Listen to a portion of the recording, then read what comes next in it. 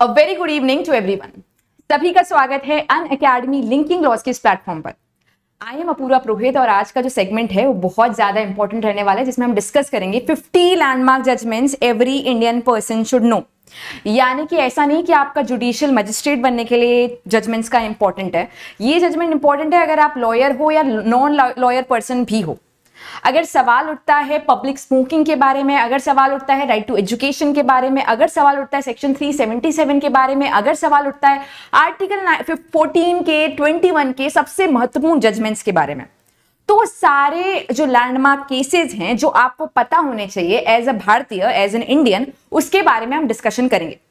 इसके अलावा आज के सेशन में एक अनोखी बात है। क्या अनोखी बात है कि यूजुअली काफ़ी बच्चे कंप्लेन करते हैं कि मैडम आपके सेशन में हिंदी के नोट्स अवेलेबल नहीं होते हैं। यहाँ पर आप थोड़ा सा हिंदी भी लिखो तो हमें भी समझ में आ जाएगा। मैं उनको समझाती रहती हूँ कि अरे मैं बोल तो हिंदी में ही रही हूँ ना। लेकिन कोई बात नहीं, इस सेशन के अंदर हमारे हिंदी और इंग्लिश दोनों के नोट शामिल रहेंगे और इसी वजह से मैं थोड़ा सा आपको कम दिखूँगी और स्लाइड आपको थोड़ी ज़्यादा नज़र आएगी। यानी कि मैं थोड़ा सा साइड में जाती रहूँगी जब भी स्लाइड आएगी। तो काफ़ी सारे इंपॉर्टेंट क्वेश्चंस काफ़ी सारे इंपॉर्टेंट जजमेंट्स आज के सेशन में डिस्कस होने वाले हैं। जिसमें ऐसे जजमेंट्स भी होंगे जहाँ पर हम लोग बहुत इंपॉर्टेंट सेक्शंस और आर्टिकल्स को भी डिकोड करेंगे।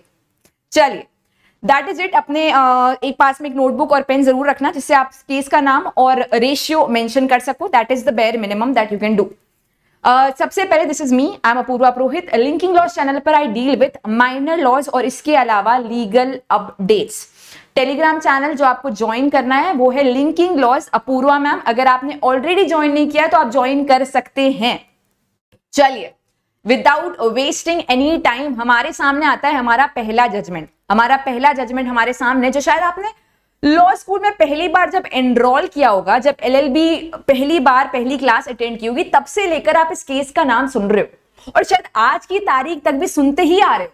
Kesavananda Bharati versus state of Kerala 1973 का जजमेंट है और बहुत ही इंपॉर्टेंट जजमेंट है। अगर ये जजमेंट नहीं आपको पता होता है तो काफ़ी बार लोग आपको जज भी कर लेते हैं। तो बात ऐसी है कि इस जजमेंट से पहले एक सवाल बहुत अहम था, जो कि काफ़ी कंफ्यूज कर रहा था, कि क्या पार्लियामेंट के पास में अधिकार है फंडामेंटल राइट्स को अमेंड करने का या फिर नहीं? क्या पार्लियामेंट के पास में अधिकार है फंडामेंटल राइट्स को अमेंड करने का या फिर नहीं? आर्टिकल 368 पावर दे रहा है पार्लियामेंट को फंडामेंटल राइट्स को अमेंड करने का। क्या इस पावर का इस्तेमाल करते हुए पार्लियामेंट फंडामेंटल राइट्स को भी अमेंड कर सकती है क्या? केशवानंदा भारती केस से पहले आया था Golaknath versus state of Punjab जहाँ पर सुप्रीम कोर्ट ने कहा था पार्लियामेंट के पास पावर है फंडामेंटल uh, राइट्स को भी uh, नहीं पार्लियामेंट के पास पावर नहीं है फंडामेंटल राइट्स अमेंड करने की। और साथ ही साथ इन्होंने ओवर रूल किया था सज्जन सिंह और शंकरी प्रसाद के केस को। तो अभी जब केशवानंद भारती के पास केस आया तो इन्होंने गोलकनाथ के जजमेंट को ओवर रूल तो किया और काफ़ी हद तक पार्लियामेंट को खुशी दे दी कि भाई साहब आप कुछ भी अमेंड कर सकते हो। आप फंडामेंटल राइट right भी अमेंड कर सकते हो। आपकी जो आर्टिकल 368 की पावर है वो खूब सारे कुछ भी अमेंड करो। लेकिन एक चीज़ इसमें कर दी एक एक्सेप्शन डाल दिया एक तरीके से कोई प्रो, प्रोविजो डाल दिया। कि आप कुछ भी अमेंड कर सकते हो, लेकिन आप कॉन्स्टिट्यूशन के बेसिक स्ट्रक्चर को अमेंड नहीं कर सकते हो। जो बेसिक ढांचा है, उसको आप अमेंड नहीं कर पाओगे। तो इसका मतलब क्या हुआ? इसका मतलब ये हुआ कि जो इंपॉर्टेंट एसेंशियल्स है, जो कॉन्स्टिट्यूशन की बैकबोन है, आप उसको अमेंड नहीं कर सकते हो। तो इसी को बेसिक स्ट्रक्चर डॉक्ट्रीन भी कहा जाता है। अगर आपसे पूछा जाए कि बेसिक स्ट्रक्चर डॉक्ट्रीन कौन से केस में दी गई है, किस केस के द्वारा आई है तो Kesavananda Bharati versus state of Kerala हमारा जो केस का नाम है। बेसिक स्ट्रक्चर है क्या और क्या क्या चीज़ें इसमें शामिल होगी? ये डिफाइन नहीं किया इस केस में, लेकिन कुछ इंडिकेटिव लिस्ट दी। इंडिकेटिव लिस्ट में बताया कि क्या क्या चीज़ें बेसिक स्ट्रक्चर के अंदर फॉल कर सकती है। ये लिस्ट एग्जॉस्टिव नहीं है, यानी कि ऐसा नहीं कि इन चीज़ों के अलावा और कोई चीज़ बेसिक स्ट्रक्चर में शामिल हो ही नहीं सकती। लेकिन एग्ज़ाम्पल दिए एग्ज़ाम्पल के तौर पर जुडिशियल रिव्यू एक बेसिक स्ट्रक्चर का पार्ट है। Supremacy of constitution of India एक बेसिक स्ट्रक्चर का पार्ट है। हमारा rule of law basic structure का पार्ट है और इसी प्रकार की जो चीज़ें हैं वो बेसिक स्ट्रक्चर में फॉल करेगी। इसके अलावा एक और सवाल था कि क्या प्रियम्बल कॉन्स्टिट्यूशन ऑफ़ इंडिया का पार्ट बनता है या नहीं बन सकता है? यानी कि प्रियम्बल को अमेंड किया जा सकता है या नहीं किया जा सकता? तो कॉन्स्टिट्यूशन ऑफ़ इंडिया का पार्ट है प्रियम्बल इस चीज़ को भी क्लियर किया। री बेरूबारी केस को जो है, उसको ओवररूल करते हुए कहा कि जो प्रियम्बल है, वो कॉन्स्टिट्यूशन ऑफ़ इंडिया का बहुत ज़्यादा पार्ट है, क्योंकि इससे हमें पता लगता है इंटेंट ऑफ़ फ्रेमर्स हमारे जो फाउंडिंग फादर्स थे, उनका इंटेंट क्या रहा होगा? कॉन्स्टिट्यूशन को ड्राफ्ट करते वक्त वो चीज़ हमें पता लगती है प्रियम्बल के ज़रिए। तो वो भी कॉन्स्टिट्यूशन का पार्ट है। दो चीज़ें जो हमें मोटा मोटी समझ आई इस केस से जो हमको याद रखनी है एक बेसिक स्ट्रक्चर डॉक्ट्रिन इस केस के द्वारा आया है। कॉन्स्टिट्यूशन uh, को कहीं से भी अमेंड करने की पावर पार्लियामेंट आर्टिकल 368 में होल्ड करता है लेकिन आप अमेंड नहीं कर सकते हो बेसिक स्ट्रक्चर को। बेसिक स्ट्रक्चर क्या है? एग्जॉस्टिव लिस्ट नहीं बताइए इंडिकेटिव लिस्ट बताइए। जिसमें बताया कि judicial review rule of law supremacy of constitution ये सारी चीज़ें बेसिक स्ट्रक्चर का पार्ट बनती है। इसके अलावा जो प्रियम्बल है वो कॉन्स्टिट्यूशन का बहुत ज़्यादा इनहेरेंटली पार्ट है और इससे हमें फाउंडिंग फादर्स का इंटेंट पता चलता है। अब हम बढ़ते हैं नेक्स्ट केस की तरफ़, जिसका नाम है A K Gopalan versus state of Madras A K Gopalan एक कम्युनिस्ट लीडर है फ्रीडम फाइटर और गवर्नमेंट के अपोनेंट है। अब आगे की कहानी आप थोड़ा समझ ही गए होगे कि गवर्नमेंट के अपोनेंट है तो आगे की प्रॉब्लम क्या होगी। तो 1947 से इनको डिटेन करके रखा था एक ऑर्डिनरी क्रिमिनल लॉ में। और जब वो कॉन्विक्शन सेटिसाइड किए गए तो कुछ समय बाद उनको प्रिवेंटिव डिटेंशन एक्ट 1950 के अंडर डिटेन किया गया।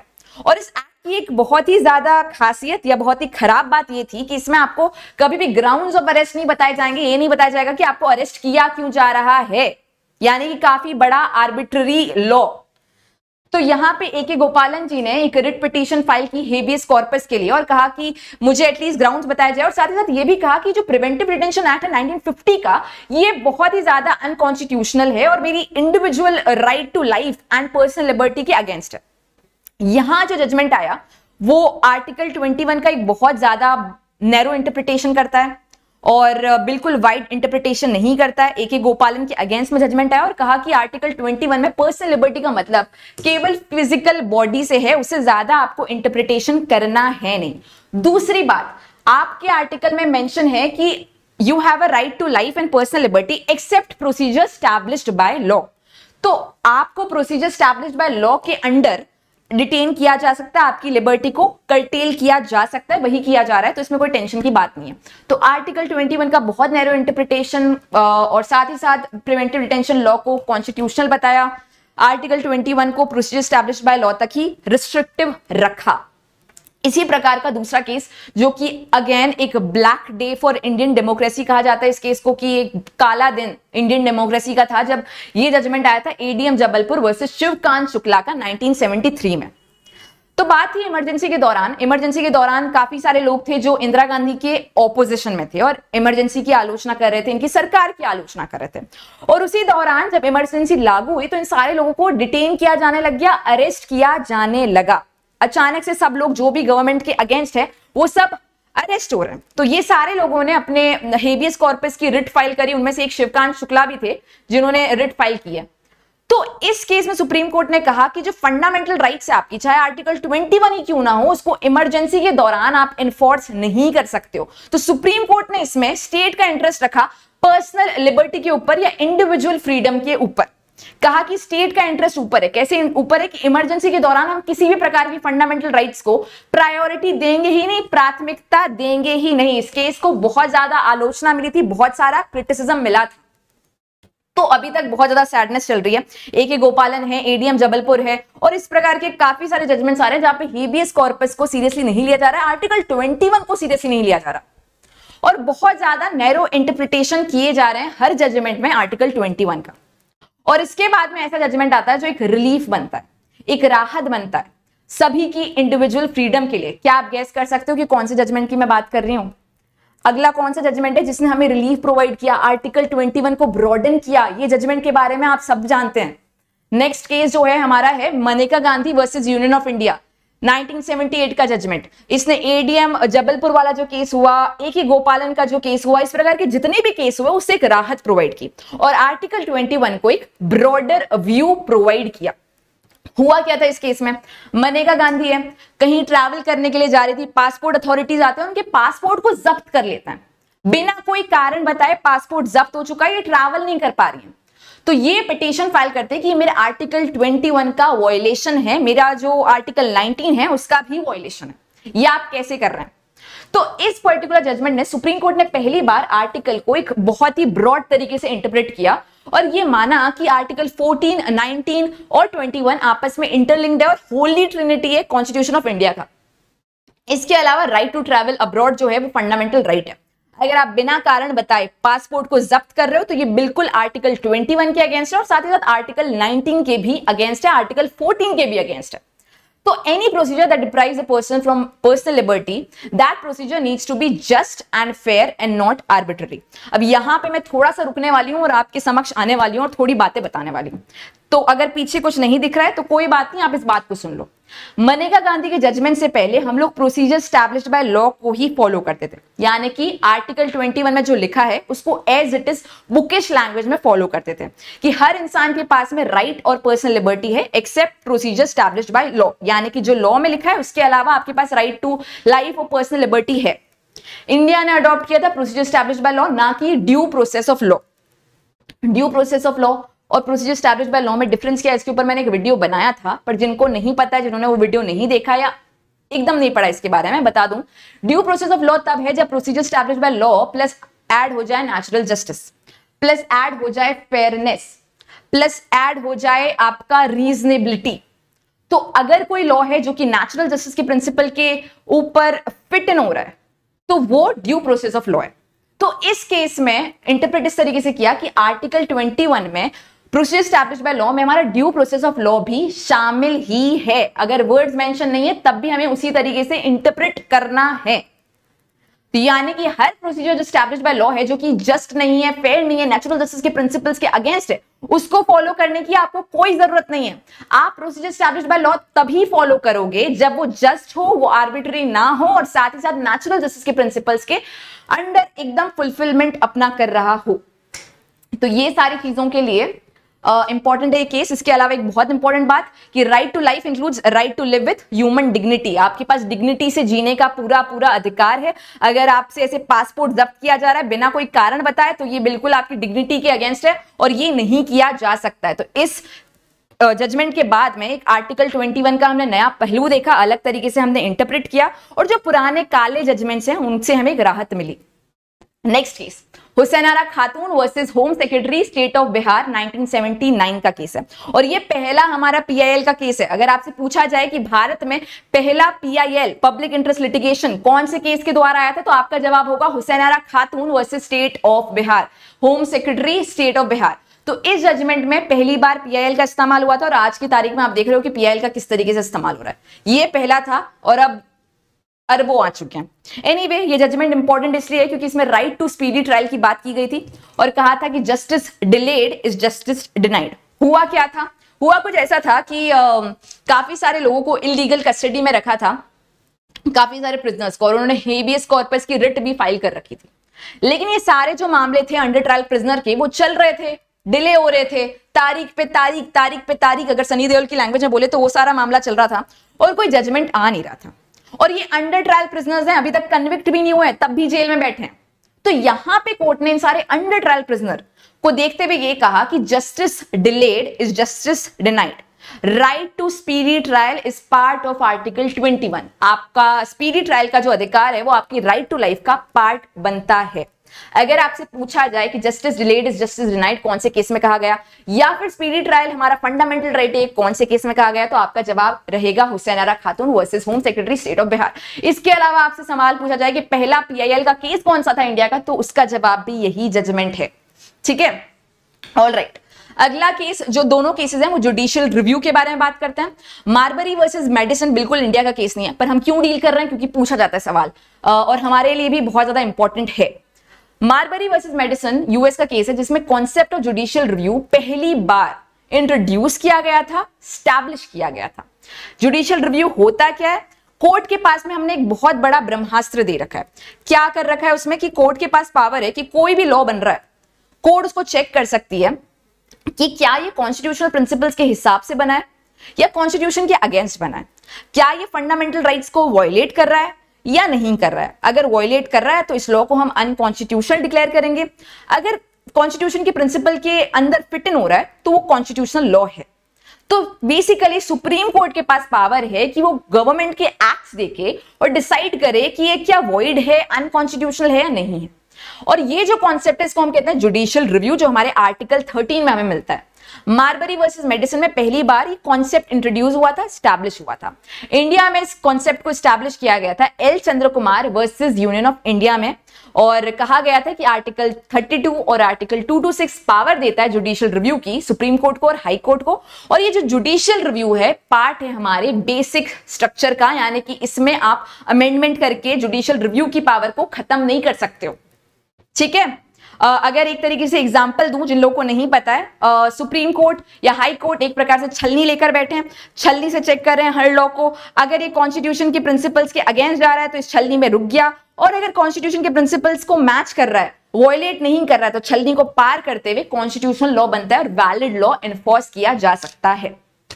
चलिए अगला case air India versus Nargis Mirza 1981 का जजमेंट और जजमेंट के बारे में आपने सबने सुना होगा। देखो, वैसे तो हम लोग जो भी जजमेंट्स डिस्कस कर रहे हैं, वो सारे आपने सुने ही होंगे। इसका टाइटल यही है कि 50 judgments every Indian should know तो आप जो कि जुडिशियल एस्पिरेंट हो, आपको तो पता ही होगा। तो आपके लिए रिविजन जैसा सेशन है कि हाँ पता है पता है, आगे बढ़िए। चलिए air India versus Nargis Mirza जो कि आर्टिकल 14 के लिए बहुत ज़्यादा इंपॉर्टेंट केस है लैंडमार्क केस है आर्टिकल 14 का। तो एयर इंडिया जैसे कि आप जानते हैं कि पब्लिक कंपनी है। और पब्लिक कंपनी यानी कि आर्टिकल 12 स्टेट के डेफिनेशन में फॉल करती है। इन्होंने कुछ आर्बिट्ररी अजीब से रूल्स बनाए। क्या रूल्स थे? इस प्रकार के रूल्स की, जैसे ही एक एयर हॉस्टेस 35 इयर्स की होगी तो उसको रिमूव कर दिया जाएगा। जैसे ही एक एयर हॉस्टेस शादी कर लेगी तो इसको रिमूव कर दिया जाएगा। जैसे इसकी पहली प्रेगनेंसी आएगी, इसको रिमूव कर दिया जाएगा। तो ये जो क्राइटेरिया था रिमूवल का, इसको अनरीजनेबल समझा गया। आर्टिकल 14 के अगेन समझा गया। आर्टिकल 21 और 19 के भी अगेन समझा गया। सारी ये जो एयर हॉस्टेस है और इंक्लूडिंग नरगिश मिर्ज़ा ने इसके अगेंस्ट आवाज़ उठाई और सुप्रीम कोर्ट ने माना कि ये चीज़ बिल्कुल गलत है। आप एक पब्लिक एंटिटी होते हुए इस प्रकार के रूल्स लेकर आ रहे हो जो कि बिल्कुल अनरीजनेबल और आर्बिट्ररी है। इन सब चीज़ों को खत्म करो। और इसी वजह से आप देखोगे कि एयर इंडिया एक ऐसी एयरलाइन है जहाँ पर आपको हर तरह की, की एयर हॉस्टेस मिलेगी। प्राइवेट जो ओन हमारी एयरलाइंस है वहाँ पे आपको थोड़ी सी ग्लैमरस मिलेगी। एयर इंडिया में वो सारा सिस्टम नहीं है क्योंकि आप एक एयर हॉस्टेस को भी एक ह्यूमन की तरह ट्रीट कर रहे हो। ऐसे नहीं कि 35 का होते ही निकलो। दैट इज़ नॉट अलाउड तो ये काफ़ी बड़ा लैंडमार्क केस है हमारे आर्टिकल 14 के लिए और 21 के लिए भी। अगला केस अगेन वेरी इंपॉर्टेंट है, वो सारे इंपॉर्टेंट है। मैं इंपॉर्टेंट बोलूँगी नहीं कि ये भी इंपॉर्टेंट वो भी इंपॉर्टेंट सब बहुत इंपॉर्टेंट है। इनफैक्ट इंपॉर्टेंट तो हमारे सौ तक पहुँच सकते हैं फिफ्टी तो रिस्ट्रिक्ट किया है। नेक्स्ट केस इंदिरा सुहाने वर्सेस यूनियन ऑफ़ इंडिया 1992 का केस है, जिसको बहुत ही फेमसली मंडल केस कहा जाता है, क्योंकि मंडल कमीशन के ऊपर नाम है। इस केस में काफ़ी सारी गाइडलाइंस दी थी हमारे रिजर्वेशन पॉलिसी के बारे में। पहली बात 50 परसेंट सीलिंग लिमिट वाला जो फॉर्मूला है, वो इस केस में स्टैब्लिश हुआ था कि आप कितना भी रिजर्वेशन कर लीजिए 50 परसेंट से ऊपर नहीं होना चाहिए। इन टोटो रिजर्वेशन किसी भी एग्ज़ाम में, किसी भी जगह पे 50 परसेंट से ऊपर ना हो, क्योंकि अगर उससे ऊपर जाएगा तो ह्यूमन राइट्स का वॉयलेशन है और आर्टिकल 21 का वॉयलेशन है। इसके अलावा क्रीमी लेयर का कॉन्सेप्ट जो है अदर बैकवर्ड क्लासेस में ओबीसीज में, उसको रिमूव किया गया। क्या होता है क्रीमी लेयर यानी कि अगर आपके पेरेंट्स ने एक बार इस्तेमाल कर लिया रिजर्वेशन का तो बच्चों को नहीं मिलेगा। अगर कोई भी आपके दादाजी पापा जी इस्तेमाल कर चुके रिजर्वेशन का तो आपको बेनिफिट सेम तरीके से नहीं मिलेगा। क्रीमी लेयर रिमूव किया गया। ओबीसीज में एस सी में रिमूव नहीं हुआ। इस बात का ध्यान रखना। इसके अलावा कैरी फॉरवर्ड रूल मतलब कि अगर आपको कोई वैकेंसी है जो कि फुलफिल नहीं हो पाई रिजर्वेशन की, उसको आप कैरी फॉरवर्ड कर रहे हो तो आप कर दो, लेकिन वो भी 50 परसेंट रूल को ब्रीच नहीं करना चाहिए। इसके अलावा रिजर्वेशन जो है वो प्रमोशंस में नहीं इस तरीके से प्रोवाइड होंगे। इसके अलावा आर्टिकल 16 क्लॉज 4 में सब क्लासिफिकेशन अलाउड है बैकवर्ड क्लासेस और मोर बैकवर्ड क्लासेस का, कि कौन सी क्लास बैकवर्ड है और कौन सी उससे भी ज़्यादा बैकवर्ड है। बहुत ज़्यादा लैंडमार्क केस है इस चीज़ के लिए बहुत इंपॉर्टेंट है, इस चीज़ के लिए बहुत इंपॉर्टेंट है और इस चीज़ के लिए भी बहुत, हर चीज़ के लिए इंपॉर्टेंट है। ये सारे पॉइंट्स आपको याद रखने हैं नॉन नेगोशिएबल तरीके से। अब तो हो गया, उसके बारे में बात चल रही है, देखो क्या होता है। चलो, आगे चलते हैं। अगला case Parmanand Katara versus union of India 1989 का जजमेंट है। यहाँ पे राइट टू मेडिकल एड के बारे में बात की गई, और ये सवाल आरजेएस में पूछा गया है कि राइट टू मेडिकल एड का लैंडमार्क केस कौन सा है? और हमारा जवाब ऑब्वियसली परमानंद कटारा ही करेक्ट था।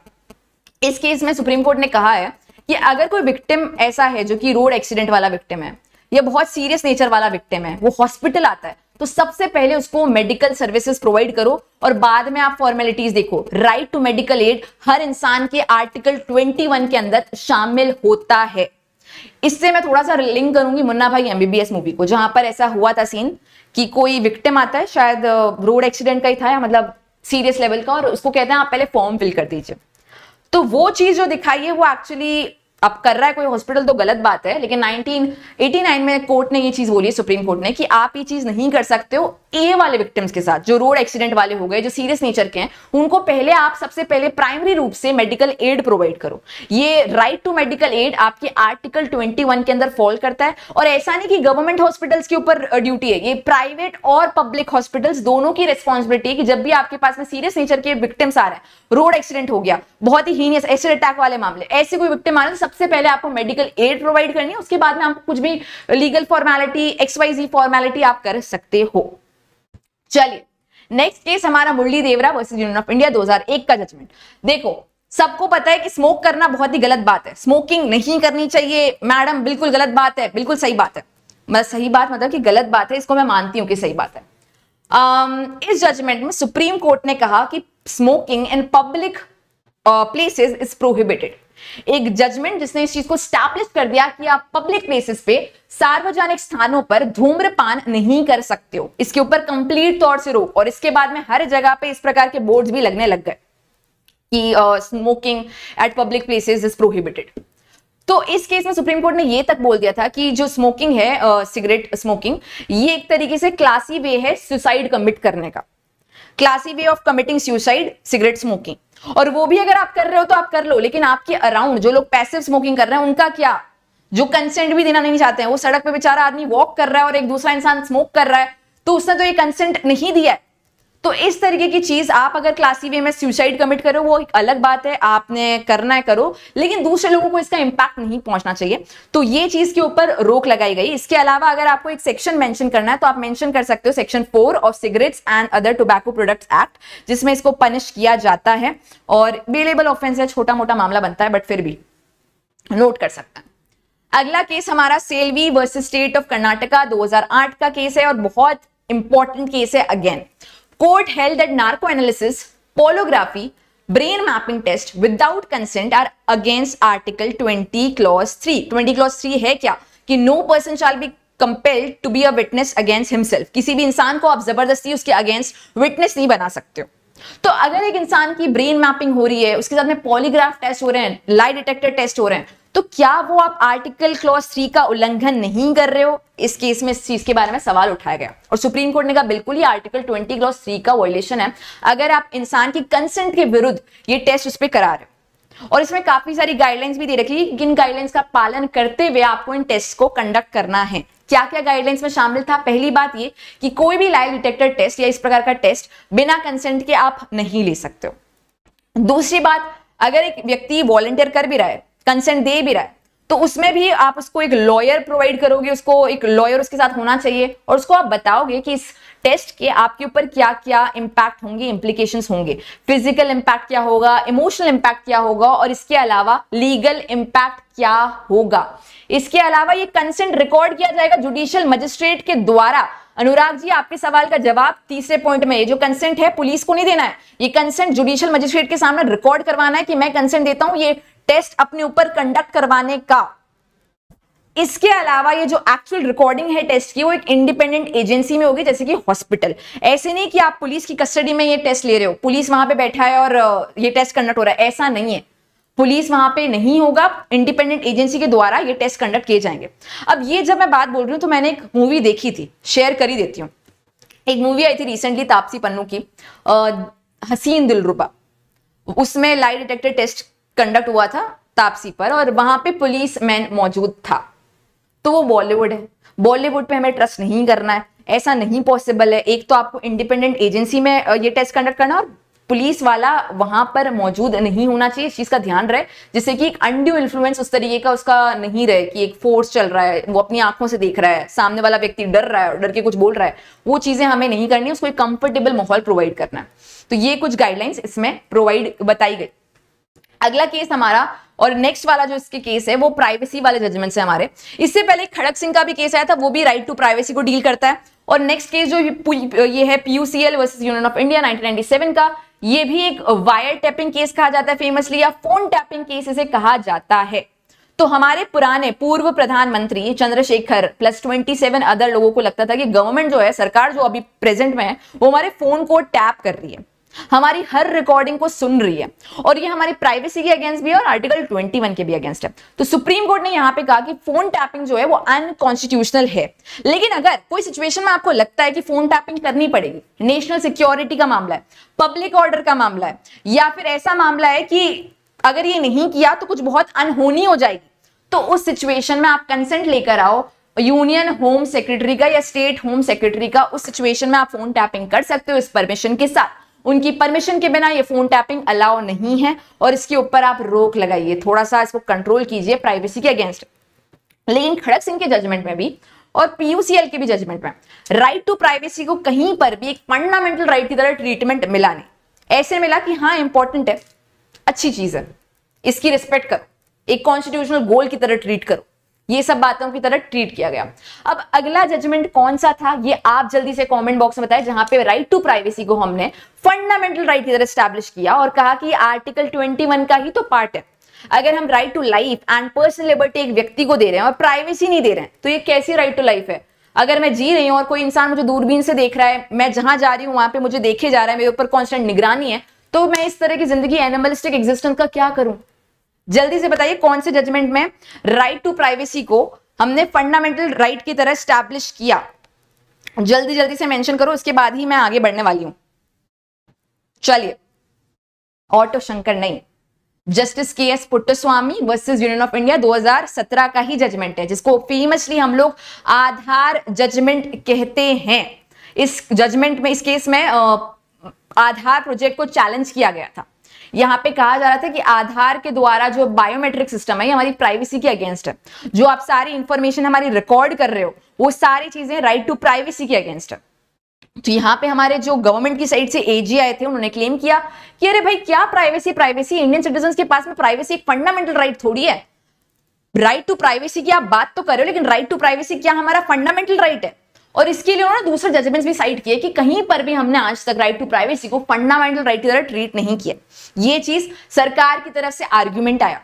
तो यहाँ पे सुप्रीम कोर्ट ने कहा कि देखो भाई, बात ऐसी है कि राइट टू प्राइवेसी है तो फंडामेंटल राइट right. और कैसे है? क्योंकि ये हमारे आर्टिकल 21 के अंदर ही शामिल है और एक्सपेंड किया परव्यू हमारे आर्टिकल 21 का और ताकि राइट टू लाइफ जो है और पर्सनल लिबर्टी जो है, उसमें राइट टू प्राइवेसी भी शामिल होती है। इसके लिए कोई अलग से कानून बनाने की ज़रूरत नहीं है कोई अलग से सेपरेट लेजिस्लेचर की ज़रूरत नहीं है।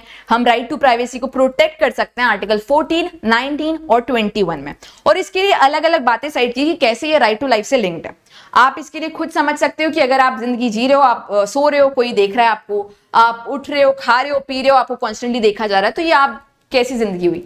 तो इसी वजह से इसमें राइट टू लाइफ को के अंदर ही हमारे राइट टू प्राइवेसी को शामिल किया। ये जजमेंट इंपॉर्टेंट है ये समझने के लिए कि हमारी फंडामेंटल uh, राइट का पार्ट बनता है राइट टू प्राइवेसी इससे पहले वाले जो जजमेंट थे उसमें राइट टू प्राइवेसी को सॉरी इंपॉर्टेंस दी थी पीयूसीएल में भी और खड़क सिंह के केस में भी। लेकिन कहीं पर भी उसको राइट टू प्राइवेसी को फंडामेंटल राइट की तरह ट्रीटमेंट या रिस्पेक्ट नहीं मिली थी।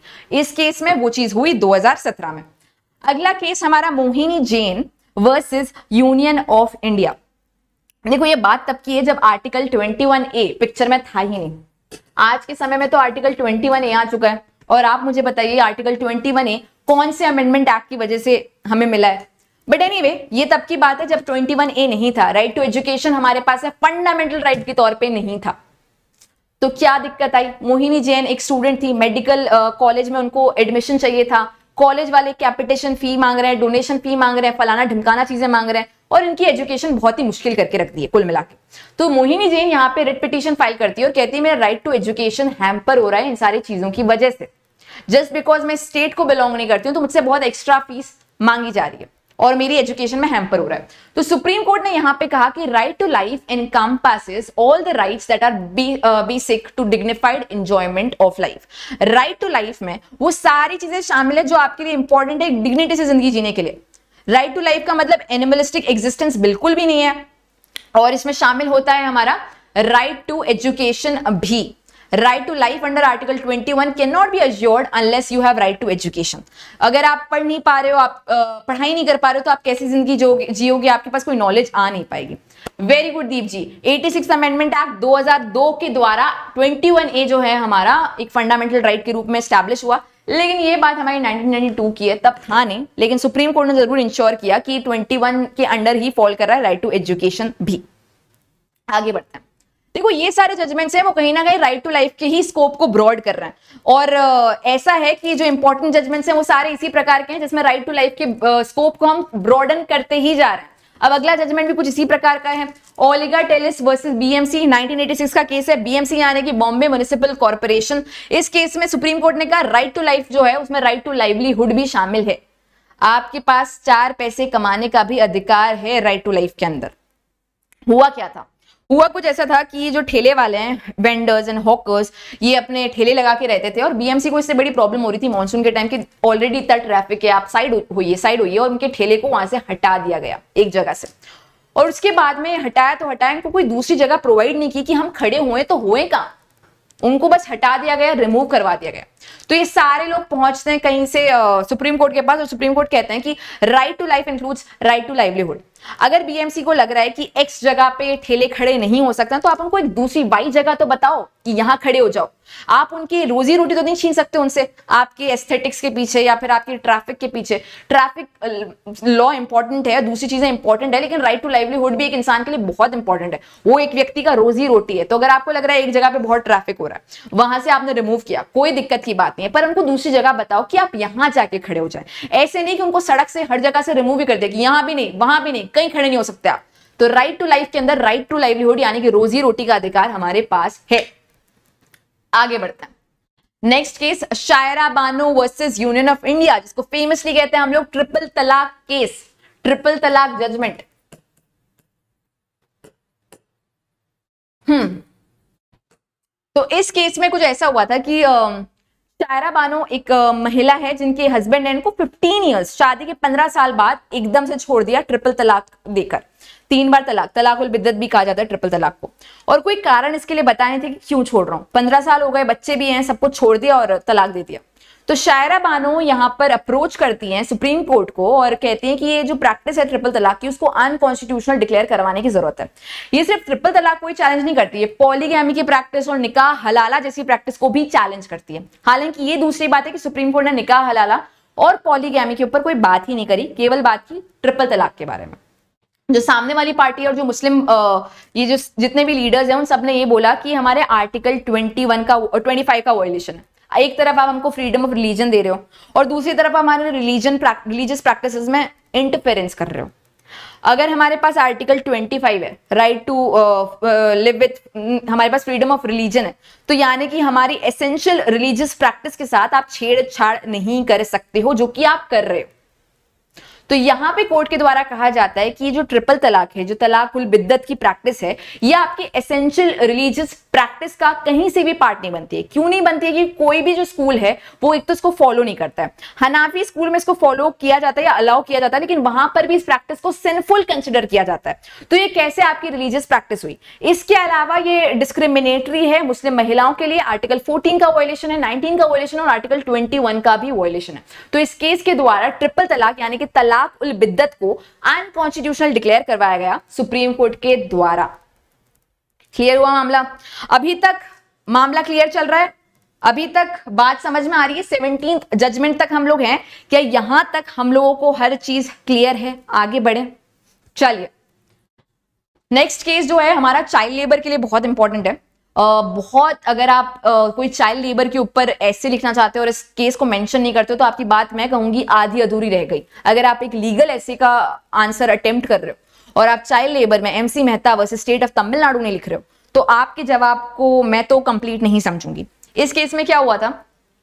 एक फायर क्रैकर इंडस्ट्री है, पटाखे की इंडस्ट्री है, जहाँ शिवा काशी में, जहाँ पे बहुत सारे बच्चों को एम्प्लॉय करके रखा है। चौदह साल से कम वाले बच्चे भी यहाँ पे वर्क कर रहे हैं। सेवनटीन मिलियन बच्चों को एम्प्लॉय कर रखा है और यहाँ पे सिर्फ़ आर्टिकल 24 नहीं 23 का भी वॉयलेशन हो रहा है। फोर्स लेबर भी हो रहा है। 24 का वॉयलेशन तो हो ही रहा है। फोर्टीन ईयर से कम वाले बच्चों को आपने पटाखों की उद्योग में लगा रखा है और ये सारी चीज़ें हैं और आर्टिकल ट्वेंटी तो देखो वॉयलेट हो, ही जाता है। वो फ्री में आ ही जाता है। तो यहाँ पे जब कोर्ट को सामने ये बात आती है तो कोर्ट यहाँ पे एक सर्वे स्टार्ट करवाता है कि छह महीने के अंदर अंदर एक सर्वे हो।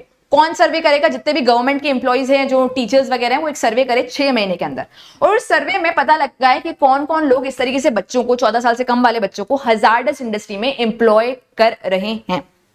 उनसे एक स्पेसिफिक फाइन कलेक्ट किया जाए उनके ऑफेंस के अकॉर्डिंग्स में और उस फाइन से एक चाइल्ड लेबर रिहेबिलिटेशन फंड बनाए।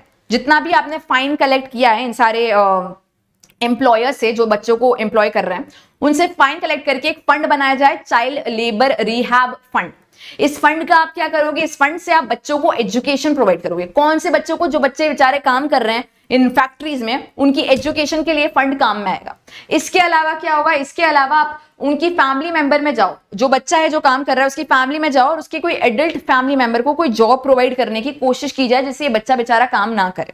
इसके अलावा, अगर नॉन हजार्डस जॉब में भी एक चौदह साल से कम का बच्चा है तो वहाँ पे भी इंस्पेक्शन हो, देखा जाए सो कितना काम करा रहा है। क्या चार से छह घंटे से ज़्यादा तो काम नहीं हो रहा है? और इस चार से छह घंटे में भी क्या प्रॉपर ब्रेक मिल रहा है या नहीं मिल रहा है? और क्वालिटी ऑफ़ वर्क कैसा है नेचर ऑफ़ वर्क कैसा है, ये सारी चीज़ें इंश्योर की जाए। Star judgement for child labour child labour को प्रिवेंट करने के लिए प्रोहिबिट करने के लिए सबसे ज़्यादा इंपॉर्टेंट केस है MC Mehta versus state of Tamil Nadu important बात है आपको याद रखनी है कि सर्वे के द्वारा, के बाद में काफ़ी सारे स्टेप्स लिए गए थे चाइल्ड लेबर को कर्ब करने के लिए। एक इफ़ेक्टिव रेमेडी बताई थी। चलिए, आगे बढ़ते हैं। नेक्स्ट केस जो है हमारे, वो राइट टू लाइफ वाले हैं। क्या राइट टू लाइफ में राइट टू डाई भी शामिल है या नहीं है? इसको मैंने अलग अलग टाइम पर सुप्रीम कोर्ट के जजमेंट जब रिसेंट डिस्कस करती हूँ, उसमें काफ़ी बार मेंशन ज़रूर करती हूँ, क्योंकि आ ही जाता है ज़िक्र। कहीं ना कहीं कुछ लिंकेज हो ही जाता है। Any way Gyan Kaur versus state of Punjab 1996 का केस है, जिसमें कहा था राइट टू लाइफ जो है आर्टिकल 21 के अंदर, उसमें राइट टू डाई नहीं शामिल है।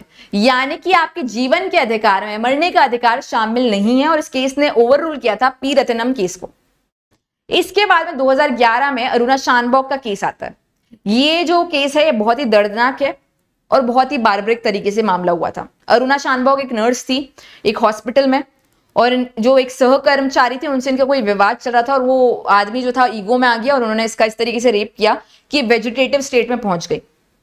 वेजिटेटिव स्टेट में इस तरीके से कि ब्लाइंड भी हो चुकी है पैरालाइज भी हो चुकी है डेफ भी हो चुकी है फॉर फोर्टी टू ईयर्स ये जो जो आदमी ने ये काम किया था, वो तो रिहा भी हो गया, क्योंकि उस टाइम पे पनिशमेंट इतनी स्ट्रॉन्ग स्ट्रिक्ट थी नहीं।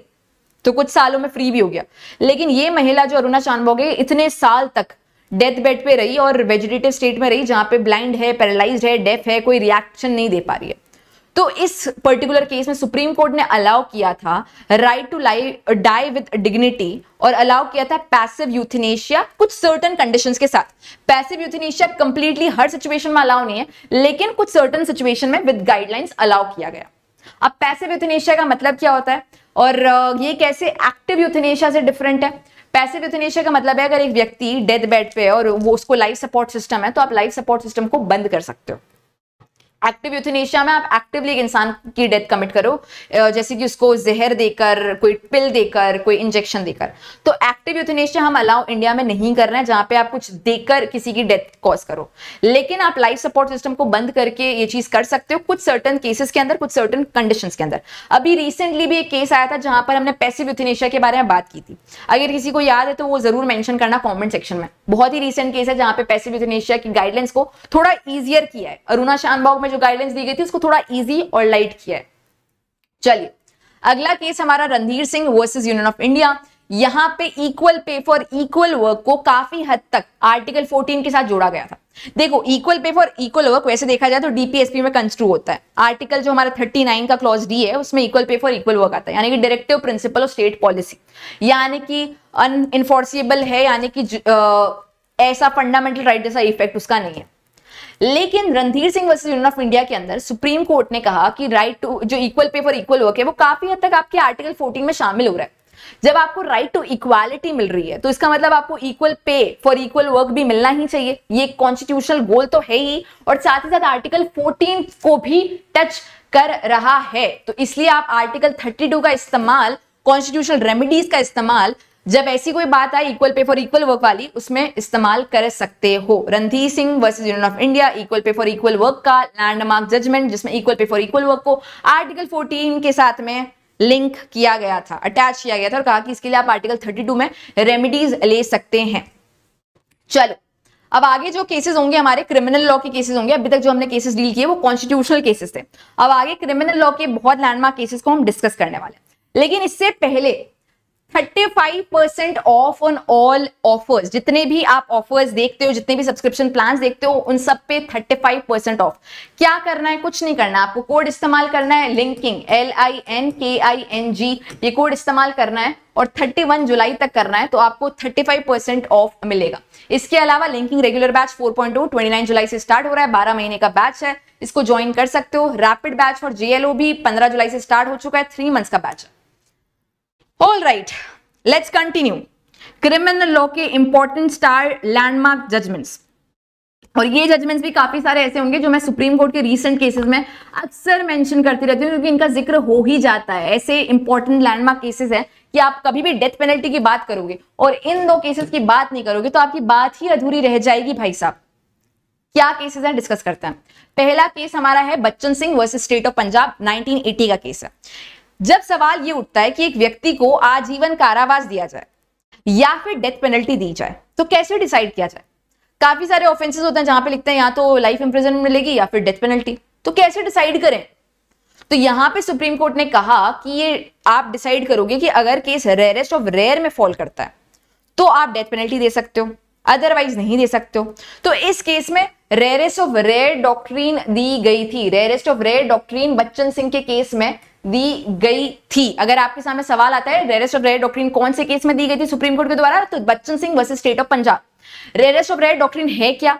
यानी कि अगर कोई मामला बहुत ही ग्रेव नेचर का है एक्सट्रीम कल्पेबिलिटी वाला है, बहुत बारबरिक है तो वो रेरेस्ट ऑफ़ रेयर है। जब आप कोई मामला पढ़ो और आपको लगो, लगे कि यार, ये कोई इंसान नहीं कर सकता है, ये कैसे हो गया? ये कैसे पॉसिबल है? और आपकी रूह काँप जाए, वो रेयरेस्ट ऑफ़ रेयर मामला है। उसमें डेथ पेनल्टी देनी है। हर मर्डर रेप में डेथ पेनल्टी नहीं देनी है। एग्ज़ाम्पल क्या होगा कोई इस तरीके के मामले का, जैसे कि निठारी केस हमने डिस्कस किया था, निर्भया केस ये सारे जो केसेस हैं रेयरेस्ट ऑफ़ रेयर सुन के ही दिल दहल जाए। रेयरेस्ट ऑफ़ रेयर मामले हो गए। और हम डिसाइड कैसे करेंगे कि कोई मामला रेयरेस्ट ऑफ़ रेयर है या नहीं है तो उसके लिए आप कंसिडर करो एग्रीवेटिंग फैक्टर्स और मिटिगेटिंग फैक्टर्स क्या है एग्रीवेटिंग फैक्टर्स और मिटिगेटिंग फैक्टर्स एग्रीवेटिंग फैक्टर्स का मतलब वो फैक्टर्स जिसके बेसिस पर आपको डेथ पेनल्टी मिलनी चाहिए। एग्ज़ाम्पल के तौर पे ये व्यक्ति तो ये ऑफेंस करता रहता है रिपीटेड ऑफेंडर इसके अलावा इसको कोई रिमोर्स और गिल्ट नहीं है अपने ऑफेंस का। तीसरी बात, इसने जिस तरीके से ऑफेंस कमिट किया है, वो बहुत बार ब्रेक नेचर का ये सब एग्रीवेटिंग फैक्टर्स मिटिगेटिंग फैक्टर्स वो फैक्टर्स हैं कि क्यों इसको डेथ पेनल्टी नहीं मिलनी चाहिए, वो फैक्टर्स भी नोट डाउन करो।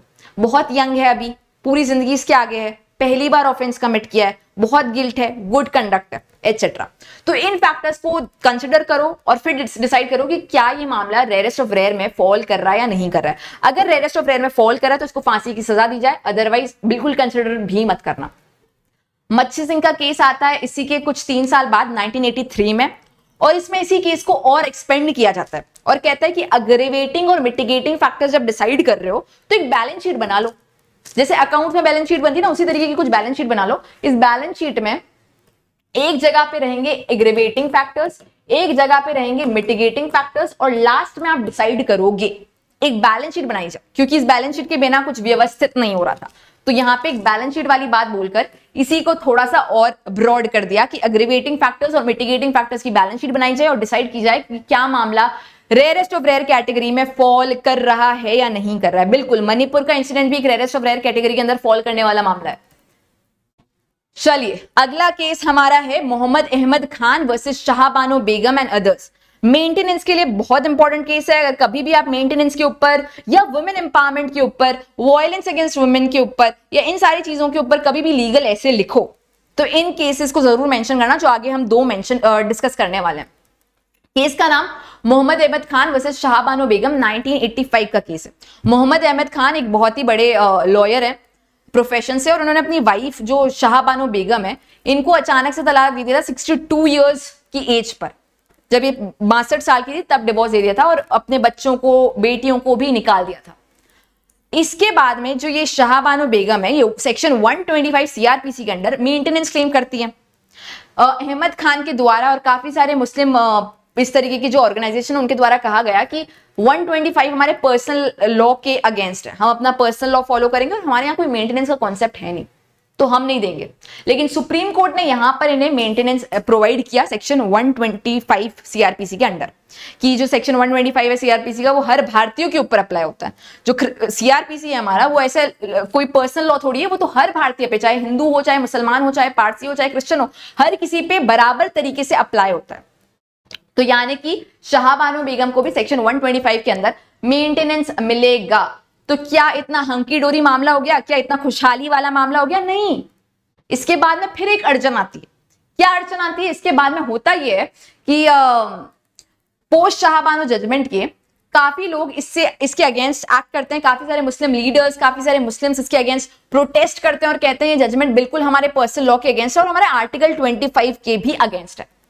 जिसके बाद में राजीव गांधी की जो सरकार है, मुस्लिम वोटर्स को अपीस करने के लिए और इस मामले को शांत करने के लिए एक एक्ट लेकर आती है, Muslim women protection of rights on divorce act 1986 में। और इस एक्ट के सेक्शन थ्री में कह रखा है कि मुस्लिम महिला को मेंटेनेंस इद्दत पीरियड तक मिलेगा। यानी कि शाहबानो बेगम का जो जजमेंट है, वो काफ़ी हद तक नलिफाई हो गया। काफ़ी हद तक नलिफाई हो गया। इसके बाद क्या होता है? क्या बात यहाँ थम गई? नहीं यहाँ नहीं थमी। शाहबानो बेगम जो केस में जो शाहबानो बेगम के काउंसिल थे डेन लतीफी वो एक पिटीशन फ़ाइल करते हैं और इस केस का नाम है Danial Latifi versus Union of India 2001 में। यहाँ पे कॉन्स्टिट्यूशनैलिटी चैलेंज की गई इस, इस act Muslim women protection of rights on divorce act 1986 को कॉन्स्टिट्यूशनली चैलेंज किया गया और ये कहा कि आर्टिकल 14, 21 इन सबके अगेंस्ट है। जुडिशियल रिव्यू पावर का इस्तेमाल करो और इसको अनकॉन्स्टिट्यूशनल डिक्लेयर करो। एक तो शाहबानो बेगम का जो वर्डिक था उसको नलिफाई कर रहा है ये, ये एक्ट इस प्रेसिडेंट के अगेंस्ट जा रहा है। और दूसरा हमारे जो बेसिक कोर आर्टिकल्स हैं 14, 21 इन सब के भी वॉयलेटिव है। तो आपको क्या लगता है जजमेंट में सुप्रीम कोर्ट ने क्या कहा होगा? क्या हुआ होगा? वैसे आपको पता ही होगा ऐसा कुछ वैसी नहीं है कि केस पहली बार आपने सुना होगा। तो इस जजमेंट में सुप्रीम कोर्ट ने हारमोनियस कंस्ट्रक्शन का इस्तेमाल किया। कैसे किया? यहाँ पे सुप्रीम कोर्ट ने कुछ ऐसा किया कि ये भी खुश रहे और वो भी खुश रहे। हुआ क्या? इन्होंने कहा कि ये जो लॉ है ना Muslim women protection of rights on divorce act ये एकदम कॉन्स्टिट्यूशनल है, एकदम बढ़िया है। इसमें कोई प्रॉब्लम नहीं है। कैसे आर्टिकल 14 को 21 को वायलेट कर रहा है? कैसे शाहबानों के जजमेंट को नलिफाई कर रहा है? बताओ जरा। यहाँ पे केवल ये मेंशन है सेक्शन थ्री में कि आपको इद्दत पीरियड तक मेंटेनेंस प्रोवाइड करना है। लेकिन ये कहा कहा है कि इद्दत पीरियड के बाद में आप मेंटेनेंस दोगे ही नहीं? तो सेक्शन थ्री को अप्लाई करते हुए इद्दत पीरियड तक मेंटेनेंस दो और सेक्शन 125 को अप्लाई करते हुए आप मेंटेनेंस दो। आजीवन तक, ता उम्र तक प्रॉब्लम कहाँ आ रही है? तो बेसिकली ऐसा कुछ किया गया कि लाठी भी ना टूटे और सांप भी मर जाए। हारमोनियस कंस्ट्रक्शन कुछ इस तरीके का किया कि दोनों ही पार्टीज़ खुश हो जाए। Supreme Court upheld the constitutional validity of the act it held that there is no discrimination the state has made a specific provision for particular community that is equally or more beneficial than a general law. Act nullify नहीं कर रहा है शाहबानो बेगम के judgment को। इसके अलावा interpret कुछ इस तरीके से किया गया कि कहीं पर भी मेंशन नहीं है कि ये मेंटेनेंस इद्दत पीरियड के बाद में नहीं मिल सकता है। बस कहा है कि इद्दत पीरियड तक मिलेगा। तो कोई बात नहीं सेक्शन तीन के अकॉर्डिंग में इद्दत पीरियड तक मेंटेनेंस दो। 125 के अकॉर्डिंग में ता उम्र मेंटेनेंस दो। सिंपल बात है। तो एक बैलेंस वर्डिक दिया गया और इस तरीके से कुछ दिया गया कि हारमोनियसली कंस्ट्रू किया और ना तो ये एक्ट स्ट्रक डाउन करना पड़ा और ना ही पर्सनल uh, राइट्स जो है इंडिविजुअल राइट्स है वो भी हैम्पर नहीं हुई। चलिए आगे बढ़ते हैं। अगला केस जो है हमारा Vishakha versus state of Rajasthan इसको हमने डिस्कस किया था अभी रिसेंटली जब हमने एक सेशन लिया था केसेस बिहाइंड पॉश एक्ट और उसमें दो जजमेंट डिस्कस किए थे आज हम लोग केवल एक डिस्कस करेंगे। आ, पर उसमें हमने दो जजमेंट डिस्कस किए थे। Vishakha versus state of Rajasthan उनमें से एक है। ये जजमेंट एक तरीके से sexual harassment of women at work place act POSH act जिसे कहा जाता है उसके पीछे है उसकी बैकबोन है।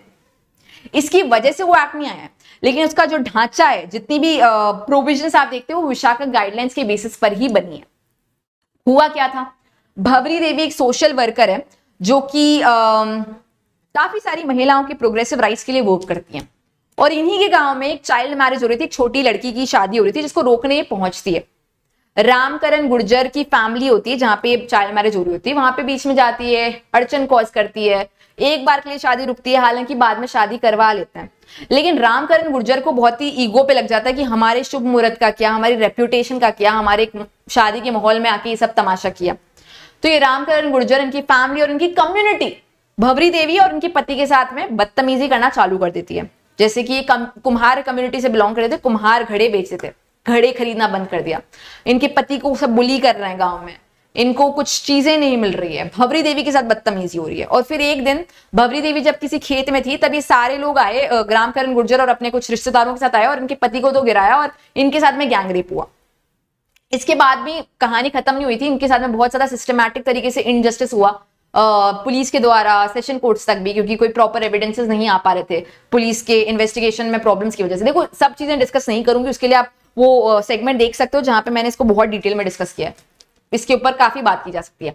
बट पॉइंट बीइंग अंत में विशाखा करके एक एनजीओ है और अलग अलग एनजीओ साथ में आए और उन्होंने कहा कि जस्टिस मिलना चाहिए। ये महिला अपना काम कर रही थी और काम के दौरान उनके साथ ये चीज़ हुई है। काम की वजह से ये चीज़ हुई है। तो कोई भी महिला काम क्यों करेगी? अगर ऐसी सिचुएशन आने लग गई तो। तो यहाँ पे सुप्रीम कोर्ट ने कुछ गाइडलाइंस दी, जिसे हम कहते हैं विशाखा गाइडलाइंस गाइडलाइंस किस चीज़ के बारे में थी कि sexual harassment of women at work place काम काज की जगह पर सेक्सुअल हेरेसमेंट ना हो। इसमें डिफाइन किया सेक्सुअल हेरेसमेंट को कि सेक्सुअल हेरेसमेंट की डेफिनेशन में आएँगी क्या क्या चीज़ें। तो इसमें इंक्लूड किया फ़िज़िकल कॉन्टैक्ट को डिमांड और request for request for sexual favour sexually coloured remark showing pornography any other unwelcome gesture वगैरह। इसके अलावा गाइडलाइंस में बताया कि कैसे एम्प्लॉयर्स को एक internal complaint committee local complaint committee establish करनी है। कैसे एम्प्लॉयर्स को सेंसिटाइजेशन अवेयरनेस प्रोग्राम्स कंडक्ट करवाने अपनी वर्क प्लेस पे। और कैसे हर किसी को प्रॉपर रिकोर्स प्रोवाइड करना चाहिए, अगर उनके साथ ये मामला होता है तो। ये सब गाइडलाइंस बताई गई। और इन गाइडलाइंस को इवेंचुअली हमने इंक्लूड किया था sexual harassment of women at work place act 2013 में। लेकिन इस एक्ट के पीछे एक दूसरा जजमेंट है जिसका नाम है Medha Kotwal Lele versus union of India जिस जजमेंट में सुप्रीम कोर्ट ने कहा, अरे भाई, इसके ऊपर एक अलग से लेजिस्लेशन बना दो। लेकिन हम Vishakha versus state of Rajasthan को क्यों मानते हैं इस एक्ट के पीछे? क्योंकि जितने भी प्रोविजंस हैं, वो विशाखा गाइडलाइंस के अकॉर्डिंग्स में इंक्लूड हुए बस। चलिए, आगे बढ़ते हैं। अगला एक बहुत ही ज़्यादा बॉलीवुड इन्फ्लुएंस्ड केस लेकिन हम हम इसलिए नहीं पढ़ रहे क्योंकि इसके ऊपर काफ़ी सारी मूवीज़ आई है। हम इसलिए पढ़ रहे हैं क्योंकि हमारे लिए लॉ पॉइंट ऑफ़ व्यू से काफ़ी इंपॉर्टेंस होल्ड करता है। K M Nanavati versus state of Maharashtra 1961 का जजमेंट है और इसके ऊपर आपने शायद एक मूवी देखी होगी रुस्तम अक्षय कुमार था उसमें। आ, तो इस जजमेंट के फैक्ट्स तो आप शायद जानते होंगे और फैक्ट्स को मैं डिटेल में डिस्कस करूँगी भी नहीं क्योंकि मुझे लगता है वो मूवी भी देखी होगी मूवी नहीं भी देखी है तो सुन ली होगी कहानी कहीं ना कहीं। इसके ऊपर खूब तरह की मूवीज़ आई है खूब तरीके की सीरीज़ में ये स्टोरी को डील किया गया है। But point being point being क्या सडन एंड ग्रेव प्रोवोकेशन था या नहीं था? जिन लोगों को एकदम आइडिया नहीं है, थोड़ा सा शॉर्ट में बता देती हूँ। के एम नानावती एक पर्सन है जो नेवल ऑफिसर हैं। इनकी एक वाइफ है सिल्विया और उन, उस सिल्विया का एक लवर है प्रेम आहूजा जो कि काफ़ी हद तक के एम नानावती का भी फ्रेंड टाइप ही है। सिल्विया और प्रेम आहूजा का अफेयर चल रहा है, जिसके बारे में के एम नानावती को पता लगता है। वो जाके प्रेम आहूजा से पूछता है कि तुम मेरे बीवी बच्चों को एक्सेप्ट करोगे, शादी करोगे या नहीं करोगे, वो मना कर देता है कि मैं तो टाइम पास कर रहा था। इस सिचुएशन के अंदर वो तुरंत रिएक्ट नहीं करता है। ऐसा नहीं कि के नानावती ने ये बात सुनी और तुरंत गोली चला दी। नहीं, उसके बाद वो अपने घर गया, अपने बीवी बच्चे को थिएटर में छोड़ा मूवी थिएटर में। पूरा टाइम था कूलिंग पीरियड था कि आप शांत हो जाओ, लेकिन नहीं। ये व्यक्ति वहाँ पे पहुँचे काफ़ी ब्रेक के बाद और उसका मर्डर कमिट कर दिया। तो सवाल ये उठा कि क्या यहाँ पे सडन एंड ग्रेव प्रोवोकेशन था या नहीं था? इस समय तक जूरी ट्रायल होता था इंडिया में। इंडिया में जूरी सिस्टम था जो आज के समय में यूएस में आपको मिलेगा। आप देखते हो यूएस में किस तरीके से जूरी ट्रायल वाला सिस्टम है। इंडिया में नहीं होता है वो, लेकिन उस टाइम पे था। और सभी जूरी इमोशनल हो गई। जैसे रुस्तम में सब हम मूवी देख के इमोशनल होते हैं कि क्या आदमी है यार। बड़ा शरीफ आदमी इसको सजा नहीं मिलनी चाहिए, इसके साथ गलत हुआ था। तो वैसे ही कुछ जूरी हमारी जैसी होती है और वो इमोशनल हुई और उन्होंने कहा कि इसको हम कन्विक्ट नहीं करेंगे। हालाँकि हाईकोर्ट ने कहा कि यहाँ पे कोई सडन ग्रे प्रोवोकेशन नहीं था, क्योंकि आपके पास में पूरा के पूरा कूलिंग पीरियड का टाइम था। आप बच्चे बीवी को छोड़ के आए हो थिएटर में, उसके बाद में अटैक कर रहे हो। तो ये कैसे सही हुआ? इसके अलावा सुप्रीम कोर्ट ने भी कन्विक्ट किया। तो फिर क्या हुआ? कन्विक्ट हो चुका है तो हमने तो मूवी में कुछ और देखा था।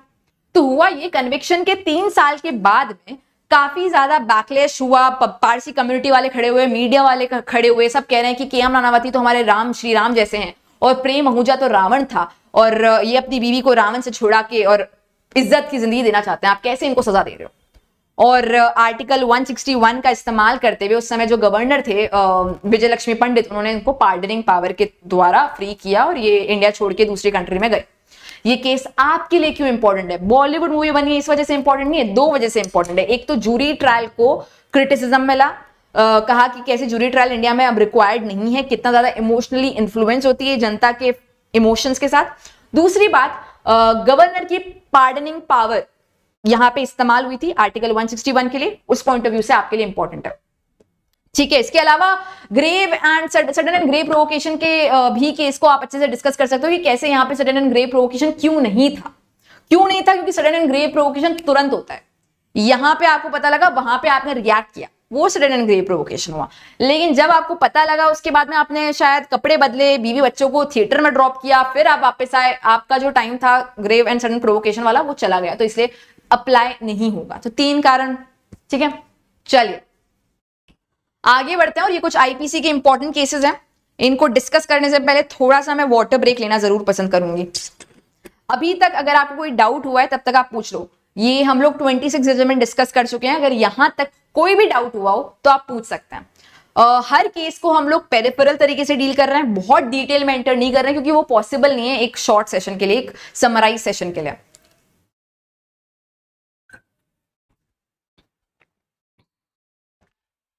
चलिए।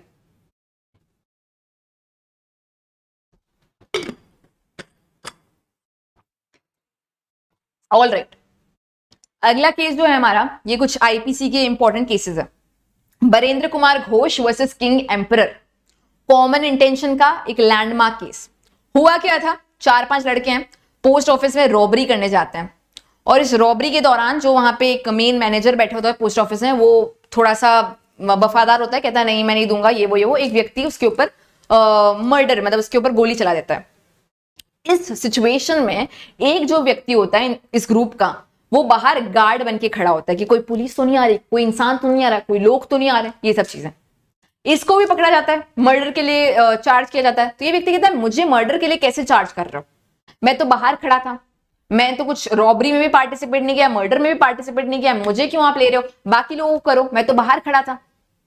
तो यहाँ पे सुप्रीम कोर्ट ने अप्लाई किया सेक्शन 34 कॉमन इंटेंशन और कहा कि कॉमन इंटेंशन के ज़रिए हम आपको रॉबरी के लिए तो कन्विक्ट करेंगे और मर्डर के लिए क्यों करेंगे ये बताते हैं। क्योंकि आप रॉबरी के लिए जब आए थे तो आप प्रिपेयर होकर आए थे, अपने साथ आर्म्स लेकर आए हो, अपने साथ बंदूक लेकर आ रहे हो, चाकू लेकर आ रहे हो, यानी कि आप प्रिपेयर हो कि अगर कोई रोकता है, अगर कोई रिस्ट्रिक्शन कॉज करेगा तो वो मर भी सकता है। उसको हम मार भी सकते हैं। और आप बाहर गार्ड कर रहे हो, यानी कि आप इन सारी चीज़ों के लिए रॉबरी मर्डर इन सब के लिए पार्टी बन रहे हो। तो सेक्शन 34 का एक लैंडमार्क जजमेंट है, Amit ji six months consolidation judgment video 2023 का बन चुका है। और मुझे देखा मैंने कि कितने कम लोगों ने देखा है वो जजमेंट वो वाला वीडियो सॉरी बहुत कम लोगों ने देखा है और जबकि काफ़ी सारे लोग मुझे मैसेज कर रहे थे मैम ये वीडियो ले लो हाफ़ ईयरली जजमेंट वाला सिक्स मंथ्स वाला। ले लिया मैंने। देखना एक बार वीडियोस में जाके। कुछ समय पहले ही लिया है। कुछ दिन हो गए हैं। चलो। Next case McNaughton case Indian case नहीं है, लेकिन क्यों डिस्कस कर रहे हैं? क्योंकि मैकनॉटन रूल हमारे इंडिया में बहुत इंपॉर्टेंट है, जिसकी वजह से सेक्शन 84 आईपीसी में आपको एक जनरल डिफेंस मिल रहा है इंसैनिटी के अगेंस्ट हुआ क्या था? मैकनॉटन जो है, इसको अचानक से कुछ ऐसा लगने लग जाता है कि जो प्रधानमंत्री है, वो मुझे मारना चाहता है। और वो इतना ज़्यादा पैरानॉइड हो जाता है, इतना पागल हो जाता है इस वजह से। कि वो डिसाइड करता है कि मेरा प्रधानमंत्री मुझे मारे, उससे पहले मैं ही क्यों ना प्रधानमंत्री को मार दूँ? और इसी साजिश में वो पहुँच जाता है पीएम के सेक्रेटरी तक और सेक्रेटरी का मर्डर भी कमिट कर लेता है। जब उससे पूछताछ की जाती है तो वो बातें बताता है कि यार प्रधानमंत्री मुझे मारना चाहता है, उसका सेक्रेटरी मेरे जासूसी कर रहा है, ये हो रहा है, वो हो रहा है। पता लगता है कि वो एकदम बहुत ही सीरियस केस है और उसको बहुत पैरानोया है और काफ़ी सारी मेंटल इलनेसेस है। और इस इस इस पर्टिकुलर केस में मेडिकल इंसेनिटी और लीगल इंसेनिटी में डिफरेंस बताया गया था। जो कि मैं काफ़ी बार डिस्कस कर चुकी हूँ, लेकिन फिर भी शॉर्ट में बताऊँगी। मेडिकल इंसैनिटी बहुत ही ब्रॉड एम्बिट है। इसे खूब सारी चीज़ें शामिल हो सकती है। हमारी डिप्रेशन आ गया एंग्जाइटी आ गया बाइपोलर डिसऑर्डर आ गया नार्सिसिज्म आ गया, पचास बातें आ गई। लेकिन क्या हर चीज़ के लिए आपको डिफेंस मिलेगा सेक्शन एट्टी के अंदर? बिल्कुल नहीं। अगर मिलने लगा तो भारत के पचास परसेंट, चालीस परसेंट लोग डिफेंस लेकर किसी को भी मारना चालू कर देंगे। नहीं। हर छोटी चीज़ के लिए आपको मेडिकल इंसैनिटी के लिए आपको डिफेंस नहीं मिलेगा। लेकिन लीगल इंसैनिटी इसका एक पार्ट है। जैसे कि ये लीगल इंसैनिटी है। ये medical insanity broad term legal insanity हम तब मानेंगे जब एक इंसान इतना ज़्यादा अनसाउंड माइंड का हो जाए कि वो रीजनेबिलिटी खो जाए, खो दे। या फिर कॉन्सिक्वेंसेज ऑफ़ एक्शंस जो भी एक्शन कर रहा है, उसके कॉन्सिक्वेंसेज समझना बिल्कुल भूल जाए। उसको कुछ समझ नहीं आ रहा है, कुछ नेचर समझ नहीं आ रहा है कॉन्सिक्वेंसेज समझ नहीं आ रहा है रीजनेबिलिटी खो दी है, कुछ नहीं पता है तो वो लीगल इंसैनिटी यानी कि लॉ भी रिकॉग्नाइज कर रहा है इस इंसैनिटी को। तो मैकनॉटन रूल में इस लीगल इंसैनिटी को स्टैब्लिश किया कि हम लोग लीगल इंसैनिटी के लिए डिफेंस देंगे। मेडिकल इंसैनिटी के लिए कोई डिफेंस नहीं मिलेगा। यानी कि छोटी मोटी चीज़ें कि मुझे तो डिप्रेशन था इसलिए मैंने मार दिया आपको कोई बेनिफिट नहीं मिल रहा है। आपको बेनिफिट तब मिलेगा जब आप इतने अनसाउंड माइंड के हो चुके हो कि आपको समझ ही नहीं आ रहा है कि ये पेन है ये पेपर है और इसका नतीजा क्या होगा। अगर मैं पेन में पेपर डालती हूँ तो समथिंग ऑफ़ दैट सॉर्ट इसके अलावा नेक्स्ट uh, केस जो है वो इंपॉर्टेंट है वॉलेंट्री uh, इंटॉक्सिकेशन के लिए। बस Basudev versus state of PEPSU. यहाँ पे एक अंकल है जो फैमिली फ़ंक्शन में आए हैं, शादी में आए हैं।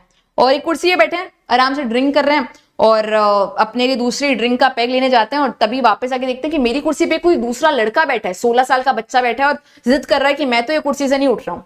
अंकल जी कहते हैं, अरे, उठ जाओ, नहीं उठ रहा हूँ। तो अंकल जी अंदर से रिवॉल्वर निकालते हैं जेब से और उसके माथे पे मार देते हैं। वो बच्चा वहीं पे मर जाता है।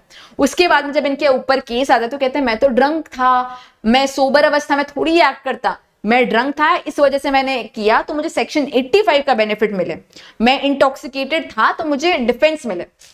तो कोर्ट यहाँ पे कहता है voluntary intoxication is not a defence अगर आपने पिया होता, अपनी मर्ज़ी के अगेंस्ट अगर ज़बरदस्ती किसी ने पिला दिया, आपकी अनुमति के बिना आपके ऐड कर दिया मिक्स कर दिया, वो सारी सिचुएशंस में आपको बेनिफिट मिलता है। पर क्योंकि आप खुद ही बैठ के पी रहे हो तो इसका कोई भी फ़ायदा आपको नहीं मिलता है।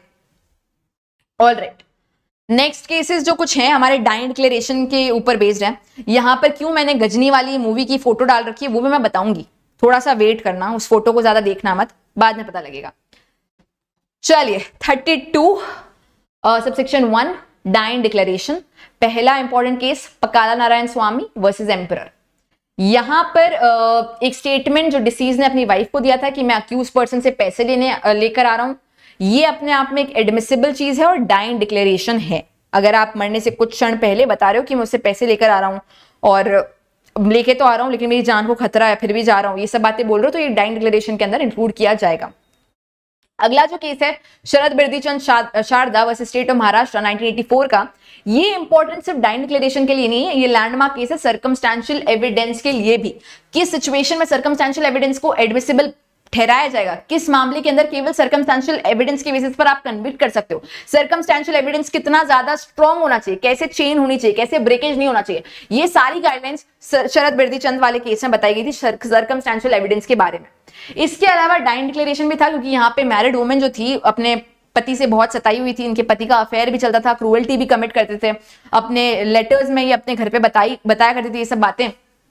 तो उन लेटर्स को ट्रीट किया गया एज अ डाइंग डिक्लेरेशन इसके अलावा अगला case queen empress versus Abdullah, बहुत पुराना जजमेंट है 1885 का। यहाँ पे कहा कि डाइंग डिक्लेरेशन केवल और केवल लिखित में, या फिर ओरली इंपॉर्टेंट नहीं है ऐसा नहीं कि आप बोल के बताओ, या फिर आप लिख कर बताओ। आप जेस्टर्स के माध्यम से भी डाइन डिक्लेरेशन कर सकते हो। इस सिचुएशन में क्या हुआ था? ये जो महिला थी, जो कि एकदम डेथ बेड पे थी, उसे पूछा गया कि आपका ये हाल किसने किया है? किसकी वजह से आपकी ये हालत हुई है? और ये महिला एकदम मरियल अवस्था में पॉइंट आउट करती है एक पर्सन की तरफ़। गला कटा हुआ है, कुछ आवाज़ निकल नहीं सकती है, केवल पॉइंट आउट कर दिया। इस चीज़ को भी डाइन डिक्लेरेशन कंसिडर किया गया था। समझ आया? तो यानी कि जेस्टर्स के माध्यम से भी आप डाइन डिक्लेरेशन दे सकते हो। अब मैं बताती हूँ कि यहाँ पे ये चीज़ क्यों है। इसका डाइन डिक्लेरेशन से पर से लॉफुली कोई नाता नहीं है, लेकिन गजनी मूवी में जब ये कल्पना का कैरेक्टर है, वो मर रही होती है तो सिर्फ़ बोलती है, गजनी। और वो जो सामने वाला इंसान होता है, वो समझ जाता है। अगर हम इसको लॉफुली अप्लाई करने की कोशिश करें कोर्ट के सामने तो ये डाइन डिक्लेरेशन की तरह कंसिडर किया जा सकता है। अगर मरने से पहले आपसे पूछा जाए, किसने आपका ये हाल किया और आप नाम लो गजनी तो that is a dying declaration हालाँकि इस मूवी में डाइन डिक्लेरेशन का कोई लेना देना था नहीं। क्यों? क्यों नहीं था? क्योंकि यहाँ पे कोई कोर्ट ऑफ़ लॉ और ये सब चीज़ें इन्वॉल्व ही नहीं हुई थी। यहाँ पे तो बदला चल रहा था। बट केवल आपको समझाने के पॉइंट ऑफ़ व्यू से समझ जाओ। चलो, आगे बढ़ते हैं। Shakti Vahini versus union of India 2017 का केस है और लैंडमार्क केस है ऑनर किलिंग के लिए। यहाँ पे सुप्रीम कोर्ट ने गाइडलाइंस इशू की थी कैसे ऑनर किलिंग को प्रिवेंट किया जा सकता है और कैसे honour killing individual freedom liberty और इन सारे परसेप्शन ऑफ़ चॉइस को वोलेट कर रही है और कैसे वुमेन ऑफ़ कंट्री को टारगेट कर रही है एक तरीके से। तो ऑनर किलिंग के लिए काफ़ी सारे गाइडलाइंस में बातें बताई थी, जैसे कि आप किस तरीके से इन मामलों में कपल को सपोर्ट करेंगे? अगर कोई फैमिली आती है पुलिस वालों के पास कि मेरे बच्चे, हमारे बच्चे भाग चुके हैं और पता लगता है कि वो बच्चे अडल्ट है तो कैसे पुलिस वाले उनको एड नहीं करेंगे? उनको मॉरल पुलिसिंग नहीं करेंगे एक, दो इंडिविजुअल्स की? इसके अलावा अगर कोई कपल आता है आपके पास में कि हमें मारने की कोशिश करें हमारे घर वाले तो उनको प्रोटेक्ट करने की कोशिश करो। इसके लिए थोड़ी स्ट्रॉन्ग पनिशमेंट प्रोवाइड करो। और कैसे इनको आप एड कर सकते हो? ये सारी गाइडलाइंस में बातें बताई गई थी। इसके अलावा नेक्स्ट केस जो है हमारा Laxmi versus union of India 2015 का केस है और एसिड अटैक के लिए एक लैंडमार्क केस है। इसके फैक्ट्स मैं नहीं बताऊँगी क्योंकि उसके ऊपर मैंने एक सेशन कंडक्ट किया था। सेशन uh, का नाम था acid attacks in India legal ऐसे का सेशन था देख सकते हो आप। लिंक में शेयर कर दूँगी। देखो बहुत सारे जजमेंट्स हैं जिनके सेशन मैंने बहुत लंबे लिए मतलब काफ़ी प्रॉपर सेशंस लिए तो मैं सोच ये रही हूँ कि सेशन के बाद जो सेशंस मैंने बहुत लेंदी लिए हैं उन सब की लिंक्स आपको शेयर कर दूँ टेलीग्राम पे। और आप डिसाइड करो कि अगर आपको कोई पर्टिकुलर जजमेंट लेंथ में देखना है तो आप उस लिंक को क्लिक करके और डिटेल में देख सकते हो। ठीक है? चलिए।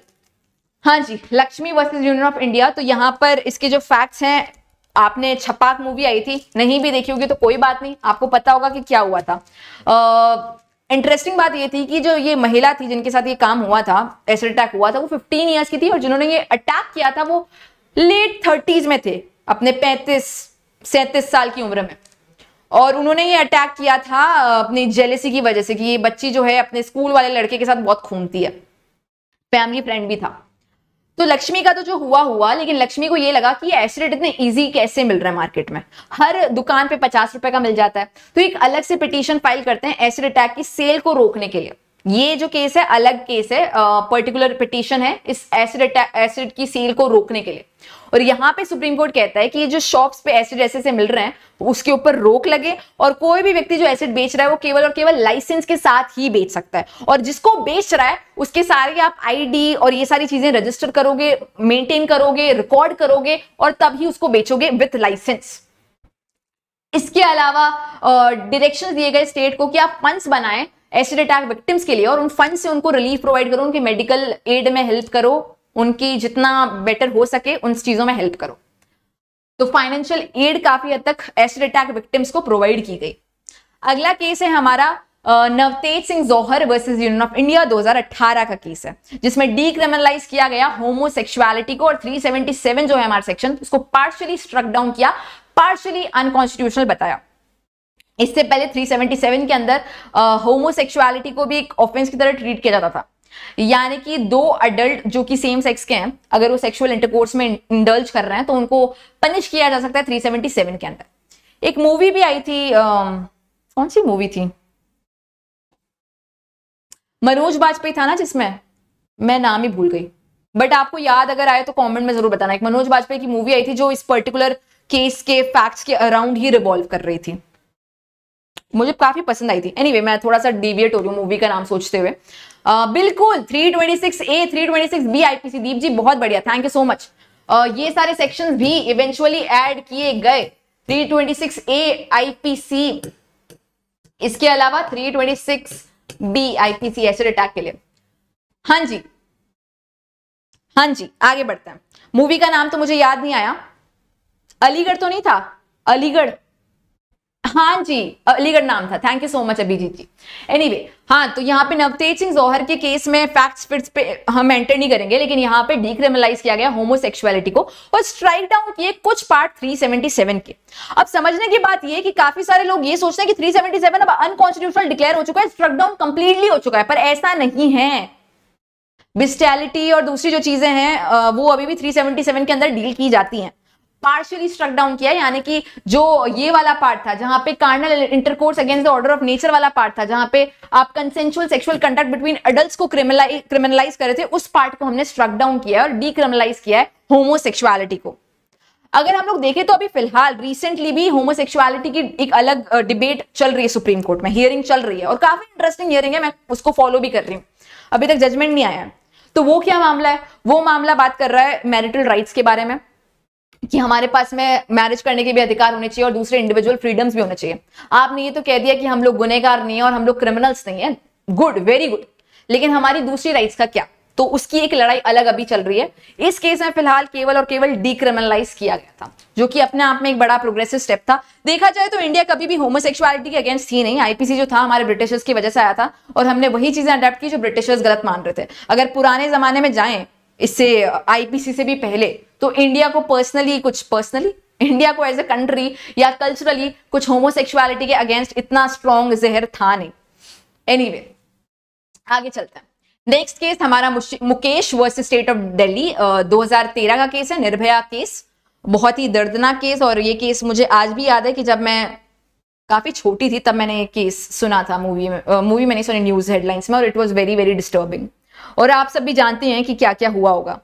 इन फ़ेमस डेली गैंग रेप जो कि 16 दिसंबर 2012 में हुआ था।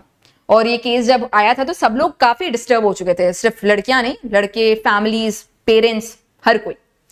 निर्भया, जो कि विक्टिम का रियल नेम नहीं है, वो अपने एक मेल फ्रेंड के साथ में मूवी थिएटर से वापस आ रही थी और एमटी बस में ये लोग एंटर करते हैं। और वहाँ पे इनका जो बस में छह लोग होते हैं, वो उनको परेशान करना स्टार्ट करते हैं दोनों लोगों को। और इस लेवल पे परेशान करते हैं कि इस आदमी को तो मारा जाता है मतलब अटैक किया जाता है असोल्ट किया जाता है और निर्भया के साथ में गैंग रेप होता है, जहाँ पर उनकी वजाइना में आयरन रॉड तक इंसर्ट की जाती है। अगर मेडिकल रिपोर्ट्स की माने तो इनकी बॉडी इतनी ज़्यादा इंजर की गई थी कि इनके इंटेस्टाइन्स को भी पुल आउट कर दिया था बॉडी से। इनके प्राइवेट पार्ट्स को भी म्यूटिलेट किया गया था। और बहुत ही ज़्यादा खराब अवस्था में एक नेकेड बॉडी को भरी रोड पे, चौराहे पे फेंक दिया गया था। जिसके ऊपर लोग भी देख देख के जा रहे थे और पता नहीं कैसे ये चीज़ हो रही थी। एनीवे anyway, ये केस हमारे लिए क्यों इंपॉर्टेंट है? इस वजह से इंपॉर्टेंट नहीं कि मीडिया ने बहुत हाईलाइट किया इसकी वजह से एक ऐसा अमेंडमेंट एक्ट आया जिसने हमारे सेक्सुअल ऑफेंसेस को एक अलग मोड़ दे दिया। जितने भी सेक्सुअल ऑफेंसेस हैं उनकी पनिशमेंट को स्ट्रिक्ट कर दिया न्यू ऑफेंसेस क्रिएट किए गए और जुवेनाइल जस्टिस एक्ट में भी काफ़ी बड़ा अमेंडमेंट आया। क्रिमिनल लॉ अमेंडमेंट एक्ट 2013 काफ़ी ज़्यादा इंपॉर्टेंट है। बहुत सारे बदलाव इस अमेंडमेंट एक्ट की वजह से हुए हैं। क्या क्या बदलाव किए गए? Uh, पहली बात ये कि आईपीसी में जो रेप की डेफिनेशन थी उसको ब्रॉड किया गया। अभी 2013 के अमेंडमेंट एक्ट से पहले ये होता था कि uh, जो रेप की डेफिनेशन है उसमें केवल हम पेनाइल विजाइनल इंटरकोर्स को ही रेप मानते थे। अब रेप की डेफिनेशन इतनी ब्रॉड करी कि अगर आप कुछ भी इंसर्शन कर रहे हो चाहे ओरल इंसर्शन हो चाहे कोई और ऑब्जेक्ट इंसर्ट कर वो सारी चीज़ें रेप की डेफिनेशन में 375 में शामिल होगी। इसके अलावा इस एक्ट ने और भी दूसरे सारे प्रोविजंस को इंक्लूड किया और पनिशमेंट्स को और बढ़ाया। काफ़ी सारे न्यू सेक्शंस भी इंसर्ट किए गए। Very good Niharika ji. आप और बता सकते हैं कि और क्या क्या सेक्शंस और और क्या क्या एडिशन हुए हैं। इसके अलावा जुबेनाइल जस्टिस एक्ट में एक बहुत मेजर चेंज चेंज हुआ। इस पर्टिकुलर मामले में क्योंकि एक पर्सन था, वो माइनर था। सोलह सत्रह साल का लड़का था। उसको उस वक्त तो चलो जुबेनाइल जस्टिस एक्ट के अकॉर्डेंस में डील किया और वो बेचारा बेचारा सॉरी वो व्यक्ति जो है वो फ्री हो गया अपने जुमेनल जस्टिस एक्ट के अकॉर्डिंग लेकिन इसके बाद में बात ये उठी कि क्या ये बच्चे को बच्चे की तरह ट्रीट करना चाहिए? था क्या? एक लड़का जो कि 16-17 साल का है, जो इतनी ज़्यादा घटिया काम कर रहा है। निर्भया केस में भी जो आयरन रॉड का इंसर्शन था, इस बच्चे ने किया था। सबसे ज़्यादा जो मैसिव हर्ट कॉज किया गया था, वो इस बच्चे के द्वारा ही किया गया था। तो इसको बच्चे की तरह हम ट्रीट क्यों कर रहे हैं? तो इसके डेवलपमेंट ये आया कि जुवेनाइल जस्टिस एक्ट में हमने ब्रैकेट बनाया 16 टू 18 इयर्स का, कि 16 से 18 साल के लोगों को हम लोग अडल्ट की तरह ट्रीट कर सकते हैं। तो क्या इसका ये मतलब हुआ कि आज के समय में 17 साल का कोई बच्चा ऑफेंस कर रहा है तो हम उसको अडल्ट की तरह ट्रीट करें? नहीं। हम लोग करेंगे प्रिलिमिनरी एग्जामिनेशन अगर एक व्यक्ति है जिसने हीनियस ऑफेंस कमिट किया, पहली बात तो ये चीज़ अप्लाई होगी हीनियस ऑफेंसेस के लिए छोटे मोटे ऑफेंसेस के ऊपर अप्लाई नहीं हो रहा है। अगर कोई व्यक्ति हीनियस ऑफेंस करता है, यानी कि रेप हो गया मर्डर हो गया, ये सारे ऑफेंसेस आप कमिट कर रहे हो तो आपकी एक प्रिलिमिनरी एग्जामिनेशन होगी, जिसके बेसिस पर डिसाइड किया जाएगा कि आपका मेच्योरिटी लेवल क्या है। क्या आप causes and consequences of your act समझ पा रहे हो या नहीं समझ पा रहे हो। और उसके बेसिस पे डिसाइड किया जाएगा कि आपको अडल्ट की तरह सीआरपीसी के अंदर डील किया जाए या जुवेनाइल की तरह जेजे एक्ट में डील किया जाए। अब क्योंकि ये डेवलपमेंट बाद में किया गया और हम लोग क्रिमिनल लॉ को रेट्रोस्पेक्टिवली अप्लाई नहीं करते हैं तो ये जो बच्चा था वो तो बच्चे की तरह निकल गया। लेकिन आगे आने वाले लोगों के लिए 16 से 18 साल की एज ब्रैकेट को हम लोग अडल्ट की तरह ट्रीट अब कर सकते हैं। ठीक है? चलिए। वेरी गुड um, इसके बाद में जो नेक्स्ट दो केसेस हैं वो हमारे डॉटर्स की प्रॉपर्टी राइट्स के बारे में बात करते हैं।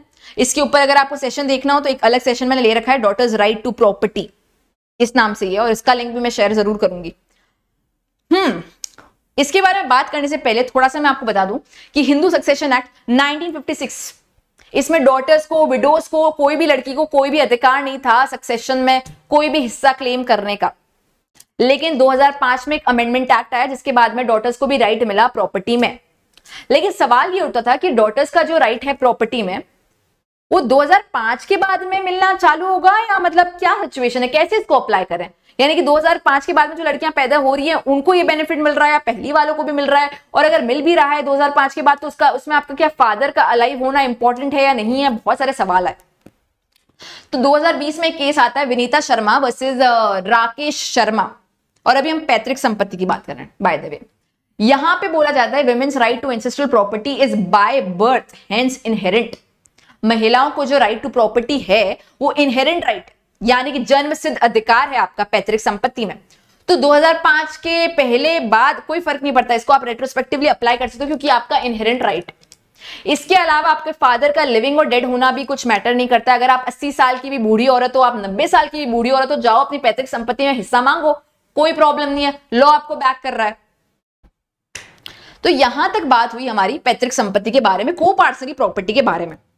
लेकिन सवाल उठता है सेल्फ अक्वायर्ड प्रॉपर्टी के बारे में। वो प्रॉपर्टी जो आपने खुद अर्जित करी है, मेहनत करके। क्या उसमें डॉटर्स अपना हिस्सा क्लेम कर सकती है क्या? तो काफ़ी लोग बोलेंगे, मैम सेल्फ अक्वायर्ड प्रॉपर्टी तो इंसान किसी को भी दे।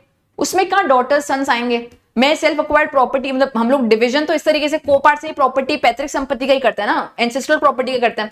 सेल्फ अक्वायर्ड प्रॉपर्टी का भी सवाल उठ गया क्या? हाँ उठा 2022 में उठा। अरुणाचल गाउंडर वर्सेस पुन्नु स्वामी का केस है। और इस केस में सवाल ये उठा कि सेल्फ अक्वायर्ड प्रॉपर्टी का क्या? क्या उसमें भी डॉटर्स हिस्सा क्लेम कर सकती है या नहीं कर सकती है? तो पहले मैं आपको ये बताऊँ कि सेल्फ अक्वायर्ड प्रॉपर्टी में कोई व्यक्ति एक्स वाई जी आपका पति, पत्नी, बच्चे, कोई हिस्सा क्लेम कर ही नहीं सकता है। क्यों नहीं कर सकता? क्योंकि आपकी अर्जित हार्डवर्क हार्ड अर्न मनी है। आप चाहो तो भिकारी को दो, आप चाहे तो एनजीओ को डोनेट करो, आप चाहे तो किसी को भी दो। नहीं दो, कोई फ़र्क नहीं पड़ता। लेकिन सवाल तब उठता है जब आप सेल्फ अक्वायर्ड प्रॉपर्टी ऐसी छोड़ के चले गए, बिना वसीहत के। ये प्रॉपर्टी लावारिस पड़ी। तब सवाल उठता है कि प्रॉपर्टी किसके पास जाएगी?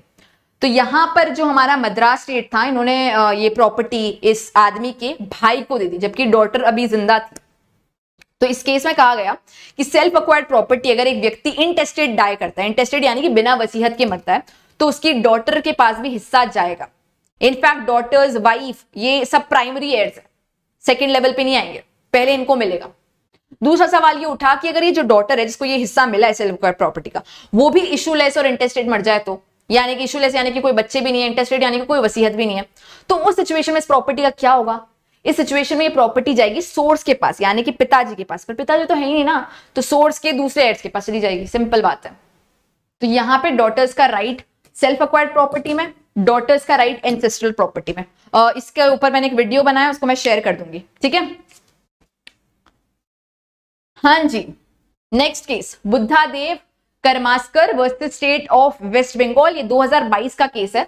ईयर मेंशन नहीं है मैं मेंशन कर देती हूँ ज़्यादा पुराना केस है नहीं। तो यहाँ पर सेक्स वर्कर्स के राइट्स के बारे में काफ़ी ज़्यादा डिटेल में डिस्कशन हुआ। सुप्रीम कोर्ट ने काफ़ी सारी गाइडलाइंस प्रोवाइड की कि कैसे आपको सेक्स वर्कर्स को ट्रीट करना है। आपको नहीं स्टेट अथॉरिटीज को पुलिस ऑफिसर्स को। और इन्होंने नोटिस किया कि कैसे पुलिस बहुत इनसेंसिटिव तरीके से सेक्स वर्कर्स के, को डील करती है, उनसे बात करती है। तो यहाँ पे सुप्रीम कोर्ट ने कहा कि हमारा जो आर्टिकल 21 है right to life and personal liberty जैसे कि मनिका गांधी केस में हमने डिस्कस किया कि उसमें right to live with dignity भी शामिल होता है। तो right to live with dignity क्या केवल मेरे लिए, निहारिका जी के लिए, दीप जी के लिए, हम सब के लिए क्या? यहाँ पे इसमें सेक्स वर्कर्स शामिल नहीं होंगे क्या? तो बिल्कुल होंगे। ये जो right to live with dignity जो मनेगा गांधी में हमने डिस्कस किया था, वो इनके ऊपर भी अप्लाई होगा। Basic protection of human decency and dignity जो है वो एक्सटेंड करता है सेक्स वर्कर्स के ऊपर भी। सुप्रीम कोर्ट ने डायरेक्ट किया पुलिस को कि आपको ट्रीट करना है सेक्स वर्कर्स को डिग्निटी के साथ। आप उनको अब्यूज नहीं कर सकते हो वर्बली या फिर फिजिकली और कुछ गाइडलाइंस दी। हम सारी गाइडलाइंस को डिस्कस नहीं करेंगे, लेकिन कुछ गाइडलाइंस को डिस्कस कर सकते हैं। आर्टिकल 142 का इस्तेमाल करते हुए आर्टिकल 142 क्या है, जिसको नहीं पता है, थोड़ा सा सुन लो एक लाइन में। सुप्रीम कोर्ट के पास पावर है कि आप कोई भी ऑर्डर और डिग्री पास कर सकते हो कंप्लीट जस्टिस को अटेन करने के लिए। तो आर्टिकल 142 का इस्तेमाल करते हुए कुछ गाइडलाइंस दी और उस गाइडलाइंस में ये कहा कि एक सेक्स वर्कर जो जो है वो अगर विक्टिम है सेक्सुअल अब्यूज की तो उसको सारी फैसिलिटी मिले जो एक normal regular sexual assault victim को मिलती है। यानी कि उसी तरीके से मेडिकल ट्रीटमेंट उसी तरीके से पुलिस के द्वारा कंप्लेन रजिस्ट्रेशन ऐसे नहीं बोलोगे कि, अरे, तुम तो यही काम करती हो, तुम क्यों कंप्लेन करो ये सब चीज़ें नहीं आप करोगे। आप, आपका काम है एफआईआर दर्ज करवाना, करो आप। और उसके अलावा मेडिकल फैसिलिटीज़ वाले भी उसी तरीके से ट्रीट करें। स्टेट गवर्नमेंट को डायरेक्ट किया गया कि आप सर्वे करो प्रोटेक्टिव होम्स की कि क्या कोई अडल्ट वुमेन को ज़बरदस्ती तो नहीं रखा गया है डिटेन तो नहीं कर रखा है उसकी विल के अगेंस्ट और अगर विल के अगेंस्ट डिटेन किया गया तो उसको टाइम बाउंड मैनर में रिलीज़ किया जाए।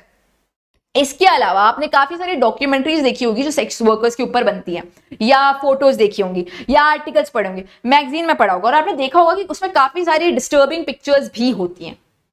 और मुझे, मैंने काफ़ी बार ऐसी डॉक्यूमेंट्रीज देखी हैं तो मुझे ऐसा समझ में आया है कि इसमें से कुछ पिक्चर्स या कुछ वीडियोस तो डेफिनेटली विदाउट कंसेंट लिए गए हैं।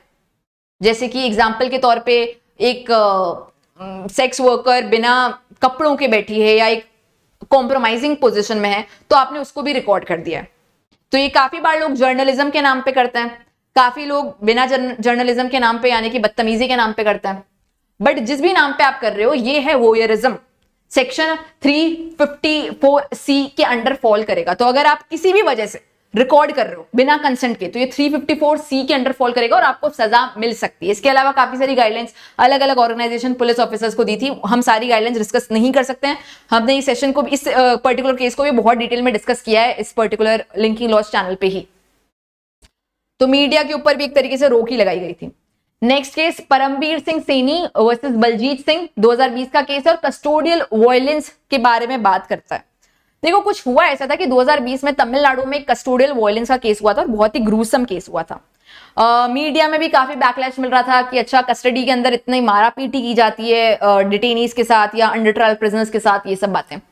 तो इस केस में सुप्रीम कोर्ट ने कहा कि आप सीसीटीवी इंस्टॉल कीजिए पुलिस स्टेशन में कर्व करने के लिए कस्टोडियल वॉयलेंस को। इसके अलावा सीबीआई हो गया ईडी e हो गया ये सारी जो इन्वेस्टिगेटिंग एजेंसीज है ये भी सीसीटीवी इंस्टॉल करें। जिससे हम इंश्योर कर सके कि कहीं ये लोग कस्टोडियल वॉयलेंस तो कमिट नहीं कर रहे हैं। कहीं ये लोग मारपीट तो नहीं कर रहे हैं।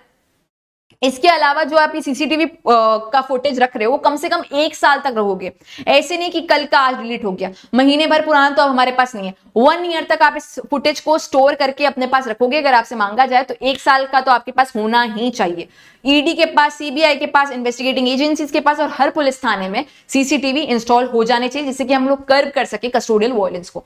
इसके अलावा एक सेंट्रल ओवरसाइट कमिटी बैठे, जो इंश्योर करे कि हर स्टेट और यूनियन टेरिटरी इस ऑर्डर का पालन कर रहा है। चलिए, अगर हम लोग कस्टोडियल वायलेंस की बात कर रहे हैं, और इस जजमेंट की बात नहीं कर रहे किस जजमेंट की जो हम आगे पढ़ने वाले हैं तो हमारी बात अधूरी रह जाएगी। अगर हम लोग कस्टोडियल वायलेंस की बात कर रहे हैं, हम अंडर ट्रायल प्रिजनर के अगेंस्ट वायलेंस की बात कर रहे हैं, और इस जजमेंट की बात नहीं कर रहे तो बात अधूरी रह जाएगी। कौन सा केस है वो? D K Basu versus state of West Bengal 1997 का केस है। और इसमें गाइडलाइंस दी थी कस्टोडियल वायलेंस वाली और अंडर ट्रायल प्रिजनर्स के को क्या क्या राइट्स हैं उन सारी चीज़ों के बारे में। जो भी पुलिस पर्सनल अरेस्ट कर रहा है इंटरोगेशन कैरी कर रहा है, उसके पास में अपना प्रॉपर बैच होना चाहिए जो कि क्लियर हो एक्यूरेट हो आइडेंटिफाई हो सके प्रॉपर तरीके से। जो भी इंटेरोगेशन कर रहा है, वो ये सारे पर्टिकुलर्स को रिकॉर्ड करेगा अपने रजिस्टर में। जो पर्सन अरेस्ट हो रहा है, उसके फ्रेंड और रिलेटिव को बताया जाएगा इस चीज़ के बारे में। इसके अलावा उसको ग्राउंड ऑफ़ अरेस्ट बताए जाएँगे और बताया जाएगा कि तुम्हारे पास में अधिकार है किसी और को इन्फॉर्म करने के बारे में इस अरेस्ट का। पुलिस ऑफिसर जो अरेस्ट कर रहा है, वो एक मेमो ऑफ़ अरेस्ट के को रिकॉर्ड करेगा टाइम ऑफ़ अरेस्ट भी मेंशन करेगा। इसके अलावा काफ़ी सारी और गाइडलाइंस बताई गई थी कि कैसे मेडिकल चेकअप और ये सारी चीज़ें भी आपका राइट है। तो इन सारी चीज़ों को डिस्कस किया गया था। इसके अलावा अगर हम बात कर ही रहे हैं तो एक और केस डिस्कस कर सकते हैं हैंड कफिंग वाला मामला, जहाँ पे राइट अगेंस्ट हैंड कफिंग की बात की गई थी। क्या आप बता सकते हैं, कौन से जजमेंट में ये कहा गया था कि आपके पास में राइट है अगेंस्ट हैंड कफिंग जैसा हम लोग बॉलीवुड मूवीज़ में देखते हैं कि एक व्यक्ति अक्यूज पर्सन बना या साबित हुआ गुनेगार तो पुलिस कहीं से हथकड़ी लेकर आ जाती है। तो वो चीज़ सही नहीं है। वो चीज़ नहीं कर सकते हैं। आप हैंड कफिंग तब यूज़ करते हो जब एक व्यक्ति दौड़ने की कोशिश कर रहा है भागने की कोशिश कर रहा है या प्रोक्लेम्ड ऑफेंडर है इन सारे मामलों में। बिल्कुल प्रेम शंकर शुक्ला का केस है जिसमें हम लोग राइट अगेंस्ट हैंड कॉपिंग की बात करते हैं। इसके अलावा एक और सोलिटरी कन्फाइनमेंट का भी केस आप नोट कर सकते हो सुनील बत्रा वाला केस तो ये कुछ केसेस हैं जो कस्टोडियल वायलेंस वाले हैं। प्रेम शंकर को मेंशन कर सकते हो सुनील बत्रा को कर सकते हो डीके बसु को कर सकते हो ये सारे क्लब बनते हैं इनका। चलो अगला केस जो है आ, काफ़ी करीब आ चुके हैं हम अंत के। फोर्टी सेकेंड जजमेंट चल रहा है। Satish Ragde versus state of Maharashtra 2021 का ही जजमेंट है, जिसको फेमसली कहा जाता है स्किन टू स्किन केस हुआ क्या था? एक 12 साल की माइनर है, जिनके साथ में सेक्सुअल हेरेसमेंट हुआ. जो अक्यूज पर्सन उसके ऊपर दो चार्जेस लगे, एक आईपीसी का आउटरेजिंग मॉडेस्टी ऑफ़ वुमेन और दूसरा POCSO section seven sexual assault का. तो ये व्यक्ति को सेशन कोर्ट ने कन्विक्ट किया दोनों ही प्रोविज़न में, और ये अक्यूज पर्सन अपील करता है बॉम्बे हाईकोर्ट में. और बॉम्बे हाईकोर्ट ये पॉक्सो के प्रोविज़न को रिमूव कर देती है. क्यों रिमूव करती है? कहती है कि यहाँ पे कोई स्किन टू स्किन टच नहीं हुआ है। जो अक्यूज पर्सन है जिसने सेक्सुअल हेरेसमेंट किया है, उसने इसके प्राइवेट पार्ट को टच तो किया है, लेकिन कपड़ों के ऊपर से ही टच किया और क्योंकि कपड़ों से ऊपर से टच किया तो सेक्शन सेवन को हम अप्लाई नहीं करेंगे। जब ये जजमेंट आता है तो उसका बहुत सीवियर क्रिटिसिज्म होता है मीडिया में बैकलैश होता है, लोग रैली निकालते हैं, ये सब चीज़ें होती है। तब सुप्रीम कोर्ट इस जजमेंट को बॉम्बे हाई कोर्ट के जजमेंट को स्टे करता है।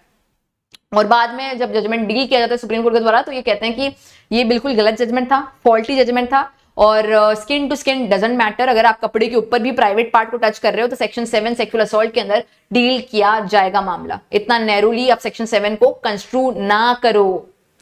ठीक है? इसको बहुत ही फेमसली कहा जाता है skin to skin case very good हाँ जी, कुछ और केसेस हैं जो कोई क्रिमिनल लॉ या ऐसे कोई पर्टिकुलर लॉ से नहीं जनरली हम डिस्कस करेंगे। पहले केस का नाम है, जो आपने सुना ही होगा, मोहरी बीबी वर्सेस धर्मोदास घोष 1903 का केस है। जिसमें प्रीवी काउंसिल ने बताया था कि कोई भी व्यक्ति जो 18 साल से कम का है, यानी कि माइनर है, वो एंटर नहीं कर सकता है कॉन्ट्रैक्ट में या कोई भी मेजर डिसीज़न जैसे कि ट्रांसफ़र ऑफ़ प्रॉपर्टी या इस प्रकार की चीज़ें मॉडगेज वगैरह, ये सब चीज़ें आप नहीं कर सकते हो एज अ माइनर तो ये केस हमारे कॉन्ट्रैक्ट लॉ के लिए काफ़ी इंपॉर्टेंस होल्ड करता है क्योंकि जब हम देखते हैं कि minor is not competent to contract जब जो कि हम section 11 of Indian contract act में भी पढ़ते हैं, उसमें कोई दिक्कत की बात नहीं है। लेकिन इस केस लॉ के द्वारा एक डोली इनका पैक्स वाला जो फॉर्मूला है कि एक पर्सन केपेबल नहीं है इन चीज़ों को करने के लिए, वो चीज़ इसमें भी स्टैब्लिश की गई थी। कोई भी पर्सन जो कि 18 ईयर से कम का है, वो कॉन्ट्रैक्ट में एंटर नहीं कर सकता है, वो इस प्रकार की चीज़ें, यानी कि ट्रांसफ़र प्रॉपर्टी या कोई भी डिसीज़न मेकिंग वाली चीज़ें जिसमें उसकी रिस्पॉन्सिबिलिटी आ रही है, वो चीज़ें नहीं कर सकता है। इसके अलावा अगला case Bellamy Sabin Bellamy versus Sabin जिसमें डॉक्ट्रिन ऑफ़ लिस्ट पेंडेंस को स्टैब्लिश किया गया था। इंडियन केस नहीं है। लेकिन इंपॉर्टेंट है क्योंकि लिस्ट पेंडेंस हमारे लिए बहुत इंपॉर्टेंट है। तो इसमें डॉक्ट्रिन ऑफ़ लिस्पेंडेंस को सबसे पहली बार इंट्रोड्यूस किया गया था बेलामी वर्सेज सबीन में जो कि सेक्शन 52 है ट्रांसफ़र ऑफ़ प्रॉपर्टी एक्ट का। Uh, जिसका मतलब मतलब लिस्पेंडेंस की डॉक्ट्रिन ये कहती है कि जब कोई मामला पेंडिंग है कोई कोई प्रॉपर्टी जो ऑलरेडी विवाद में चल रही है जिसके अगेंस्ट जिसके बारे में अगेंस्ट नहीं जिस, जिसका ऑलरेडी केस चल रहा है कोर्ट में प्रॉपर अथॉरिटी वाले कोर्ट में तो आप उस प्रॉपर्टी को ट्रांसफ़र नहीं कर सकते हो। अगर एक ऑलरेडी विवादित प्रॉपर्टी है तो आप उसको ट्रांसफ़र नहीं कर सकते और डॉक्ट्रिन ऑफ़ लिस्ट पेंडेंस उसको ही रोकती है। तो पहली बार बेलामी वर्सेस सबीन के केस में इस डॉक्ट्रिन का स्टैब्लिशमेंट हुआ था इंट्रोडक्शन हुआ था। अगर इंडिया की बात करें तो फैयाज हुसैन खान वर्सेस प्राग नारायण का केस है, पहला case doctrine of lis pendens से रिलेटेड अगर हम बात करें ईयर की तो यहाँ पे क्योंकि ईयर मेंशन नहीं है तो मैं मेंशन कर देती हूँ 1907 का ये केस है इंडिया के लिए। ठीक है? चलो। अगला केस हमारा बाबरी मस्जिद केस है या फिर अयोध्या केस कह सकते हैं इसे।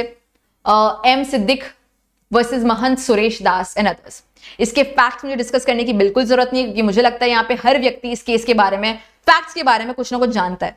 कैसे, कहाँ से स्टार्ट हुआ, कैसे, क्या हुआ, उतनी चीज़ें हमें डिटेल में अभी तो वक्त नहीं है कि डिस्कस कर पाए, लेकिन आपको पता होगा मोटा मोटी कि कैसे बाबरी मस्जिद का जो इश्यू था, वो अपने आप में विवाद में था। अगर हम बात करें इलाहाबाद हाई कोर्ट की तो इलाहाबाद हाई कोर्ट ने ये बाबरी मस्जिद के प्रॉपर्टी को तीन हिस्सों में डिवाइड करने के बारे में बात की थी, कि एक जो हिस्सा है वो हिंदू को मिले, एक हिस्सा मुस्लिम को मिले और एक मिले निर्मोही अखाड़ा को। जब मामला सुप्रीम कोर्ट के पास पहुँचा तो सुप्रीम कोर्ट ने इलाहाबाद हाई कोर्ट की जजमेंट को फॉलो नहीं करते हुए ये डिसाइड किया कि ये जो प्रॉपर्टी है, ये जानी चाहिए हिंदूज के पास में, राम जन्मभूमि न्यास के लिए, और यहाँ पे टेंपल का कंस्ट्रक्शन होना चाहिए, और मुस्लिम्स को कॉम्पनसेट करने के लिए उनको एक पाँच एकड़ का लैंड अलग से अयोध्या में मिलना चाहिए, जिससे कि वो अपने लिए मस्जिद स्टैब्लिश कर सके कंस्ट्रक्ट कर सके।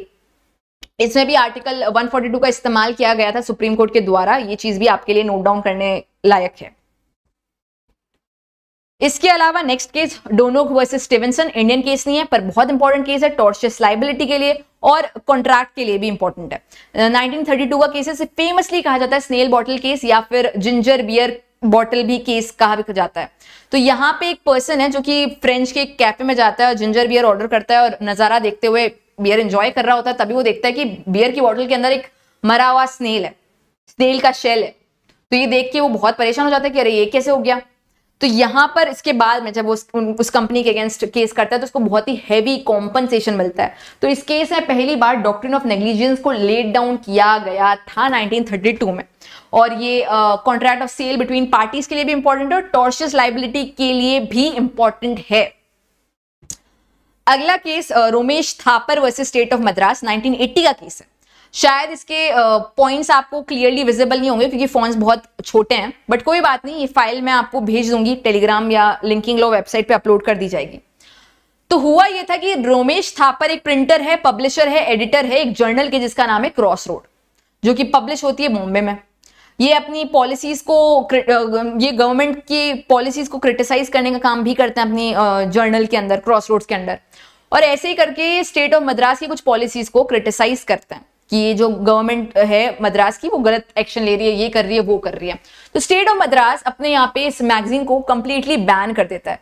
कहते हैं कि section nine one A of Madras maintenance of public order act के अगेंस्ट है। हमारी पब्लिक सिक्योरिटी को खतरा है।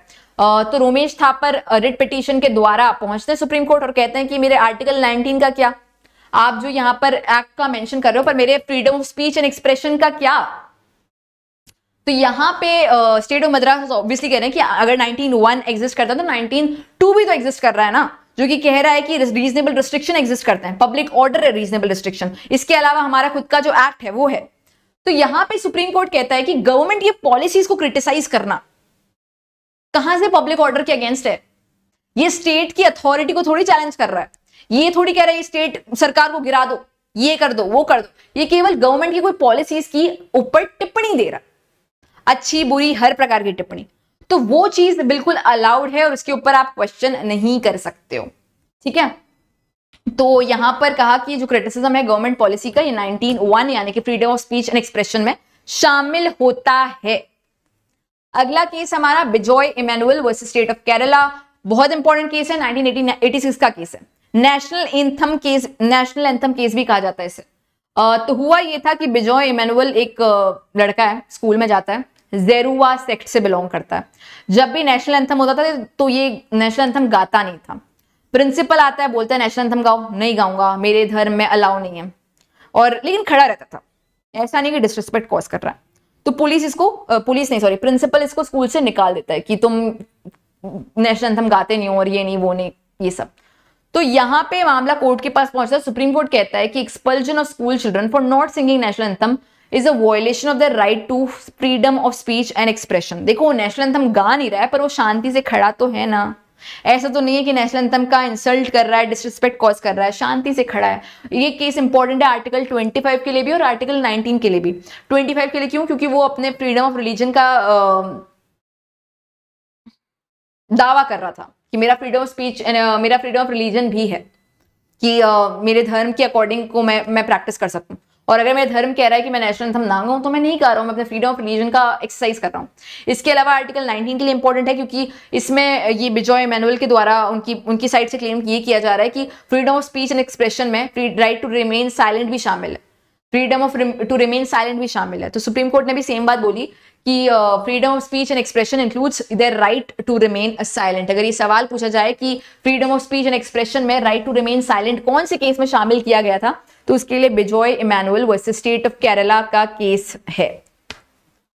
अगला हमारा केस है एमसी मेहता आखिरी case M C Mehta versus union of India oleum gas leak case Bhopal gas tragedy case ये केस uh, के लिए मतलब ऐसा हुआ था कि एमसी मेहता ने पहले से पिटीशन फ़ाइल कर रखी थी कि भोपाल में और अलग अलग जगहों पर नॉट सिर्फ़ भोपाल, दिल्ली में, हर जगह पे, ये रेसिडेंशियल एरियाज़ में खतरनाक इंडस्ट्रीज़ है टॉक्सिक इंडस्ट्रीज़ है, और जिसकी वजह से काफ़ी नुकसान हो रहा है। जब ये मामला ऑलरेडी पेंडिंग था, उसी दौरान भोपाल गैस ट्रेजेडी हो जाती है और बहुत ही ज़्यादा नुकसान हो जाता है। तो इस दौरान एमसी मेहता के द्वारा एब्सोल्यूट लाइबिलिटी के बारे में बात की जाती है और बोलते हैं कि जितनी भी तरह की इंडस्ट्री है, भोपाल में या दिल्ली में, उनको क्लोज डाउन किया जाए। तो यहाँ पर इस केस के द्वारा एब्सोल्यूट लाइबिलिटी का प्रिंसिपल पहली बार इंडिया में स्टैब्लिश हुआ।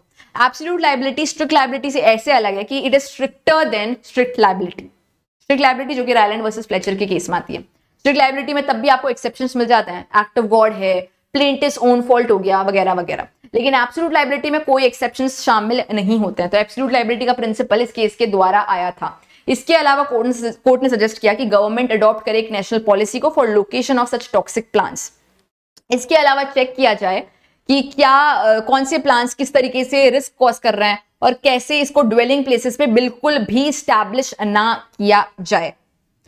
अभी 50 केस हुए हैं। लेकिन मैं आपको तीन केसेस होमवर्क में दूँगी कि इन केसेस के बारे में भी आप ज़रूर पढ़ना। वो कौन से केसेस हैं मैं भी बताती हूँ। मतलब वो भी हमारे वेरी मच इंपॉर्टेंट पार्टी है। इसके अलावा Uttarakhand rep for Uttarakhand mains test series आ रही है एवेलुएशन के लिए। इसको आप लाइव uh, स्टोर uh, में देख सकते हो। Haryana A D M mock test available है। स्पेशल um, क्लास के बेनिफिट्स आप ऑलरेडी जानते हैं।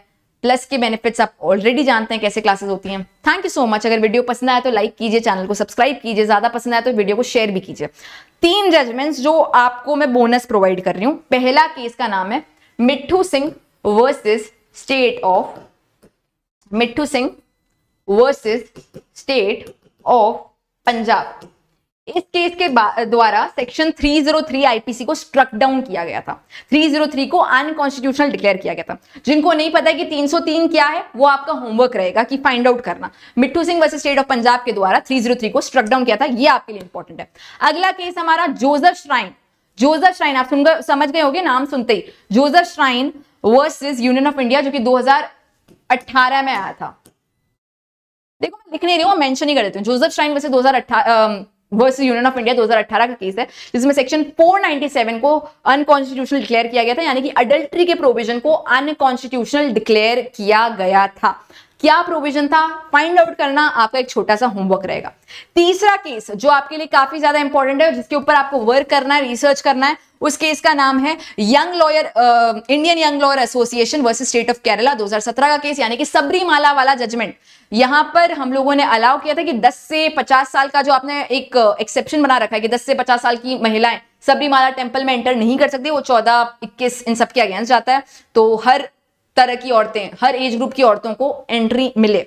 ये तीन जजमेंट्स मैं एक्सप्लेन नहीं करूँगी, लेकिन आपका काम है फाइंड आउट करना। तीन जजमेंट का नाम हुआ Mitthu Singh versus state of Punjab Joseph Shine versus union of India Indian young lawyer association versus union of India versus state of Kerala इसके ऊपर थोड़ा सा पढ़ना और पता करना कि क्या क्या इनके अंदर है, ये भी वेरी मच इंपॉर्टेंट केसेस हैं। इसके अलावा आपको क्या लगता है कि ऐसे कौन से केसेस हैं जो हर इंडियन को पता होने चाहिए? ये कमेंट सेक्शन में ज़रूर बताना कि ऐसे और कौन से केसेस होते हैं, हो सकते हैं जो कि हर भारतीय को पता होना चाहिए, जो बहुत बेसिक केसेस है, ये तो पता होना ही चाहिए। ये नहीं पता है तो कहाँ जाओगे? कैसे लॉ करोगे? उस तरह के केसेस को ज़रूर मैंशन करना। इसके अलावा आपने नोटिस किया होगा कि आज हमने खूब सारे जजमेंट डिस्कस कर लिए हैं, एक थोक के भाव में। काफ़ी भारी भारी तरीके से हमने, भारी भारी कॉन्सेप्ट्स को सिंपल तरीके से डिस्कस किया है। अगर कहीं पर भी कोई दिक्कत आई है तो काफ़ी सारे सेगमेंट्स को मैंने बहुत डिटेल में भी लिया है और उनके लिंक को मैं शेयर करूँगी। जैसे डॉटर्स राइट टू प्रॉपर्टी वाला राइट टू प्राइवेसी वाला एसेट अटैक वाला, ये वाले सारे जजमेंट्स को हमने डिटेल में डिस्कस किया है काफ़ी टाइम के साथ में फैक्ट्स के साथ में। तो उनको मैं लिंक के साथ शेयर करूँगी चाइल्ड लेबर वाला भी फॉर दैट मैटर तो आप देखना, अगर आपको इन लेंथ देखना है तो उस लिंक पे जाकर आप डिटेल में भी देख सकते हो। एक चीज़ मुझे ये समझ आई कि हम लोग कम समय में काफ़ी सारी चीज़ें रिवाइज कर सकते हैं। तो मैं एक सजेस्ट आपको very good very good Deep ji Ramlila Maidan का केस जिसमें राइट टू स्लीप को भी शामिल किया था आर्टिकल 21 में। वेरी गुड यहीं पे स्टार्ट हो चुके हैं। चलिए, एक चीज़ मैंने नोटिस की कि हमने कितने कम समय में कितनी सारी चीज़ें, कितने सारे केस लॉस को डिस्कस कर लिया। तो एक चीज़ समझ में आती है कि जब हमें लगता है ना कि कल ही एग्ज़ाम है, अगर कोई ऐसी चीज़ लगती है कि अभी करना है तो बहुत सारी चीज़ें हम लोग कर लेते हैं। तो एक छोटा सा आपको सजेशन मैं ये दूँगी कि हमेशा पढ़ाई जब करो तो ऐसा समझो कि एग्ज़ाम कल ही है। कल ही कोई मेरा बहुत इंपॉर्टेंट एग्ज़ाम है। आ, कल ही जो मैं एग्ज़ाम टारगेट कर रहा हूँ वो कल ही है। ऐसे समझ के अगर पढ़ोगे तो जो गोल आपने डिसाइड किया है कि आज ये पढ़ना है उससे ज़्यादा पढ़ लोगे। लेकिन अगर ऐसे सोचोगे कि तीन महीने बाद पेपर है एक महीने बाद है दस दिन बाद है कोई बात नहीं कर लेंगे। तो जो गोल डिसाइड किया है वो भी नहीं हो पाएगा। तो कोशिश करो कि अपने लिए एक इस तरीके के गोल सेट करो। कि कल ये करना है, किसी भी हाल में करना है। हालाँकि क्वालिटी से कॉम्प्रोमाइज नहीं करना है, ऐसे नहीं कह रही हूँ कि घास काटनी है बट कोशिश करो कि एक टाइमलाइन हमेशा सेट रहे कि इस तरीके से इतने टाइम में ये चीज़ करनी है। और अगर नहीं करी तो कल ही पेपर है भाई, क्या करेंगे? ठीक है, चलिए that is it for today's class काफ़ी मैंने लास्ट में आपको ज्ञान दे दिया। But thank you so much अगर वीडियो पसंद आए तो लाइक ज़रूर करना, अपने केस लॉज ज़रूर मेंशन करना, जो आपको बहुत इंपॉर्टेंट लगते हैं। वैसे केसेस इंपॉर्टेंट की कोई कमी नहीं है। Uh, मैं आपको यहाँ पे सौ केसेस भी लैंडमार्क बता सकती हूँ। बट तब भी आपके हिसाब से जो चीज़ आपको लगता है बिल्कुल मिस नहीं होना चाहिए उसको ज़रूर मेंशन करना। Thank you so much and see you all in the next session कल एक स्पेशल क्लास होगी जो इस सेशन की क्विज ही होगी। उसका टाइम मैं आपको टेलीग्राम चैनल पे सूचित ज़रूर करूँगी। इस सेशन की जो क्विज है कल ली जाएगी। Thank you so much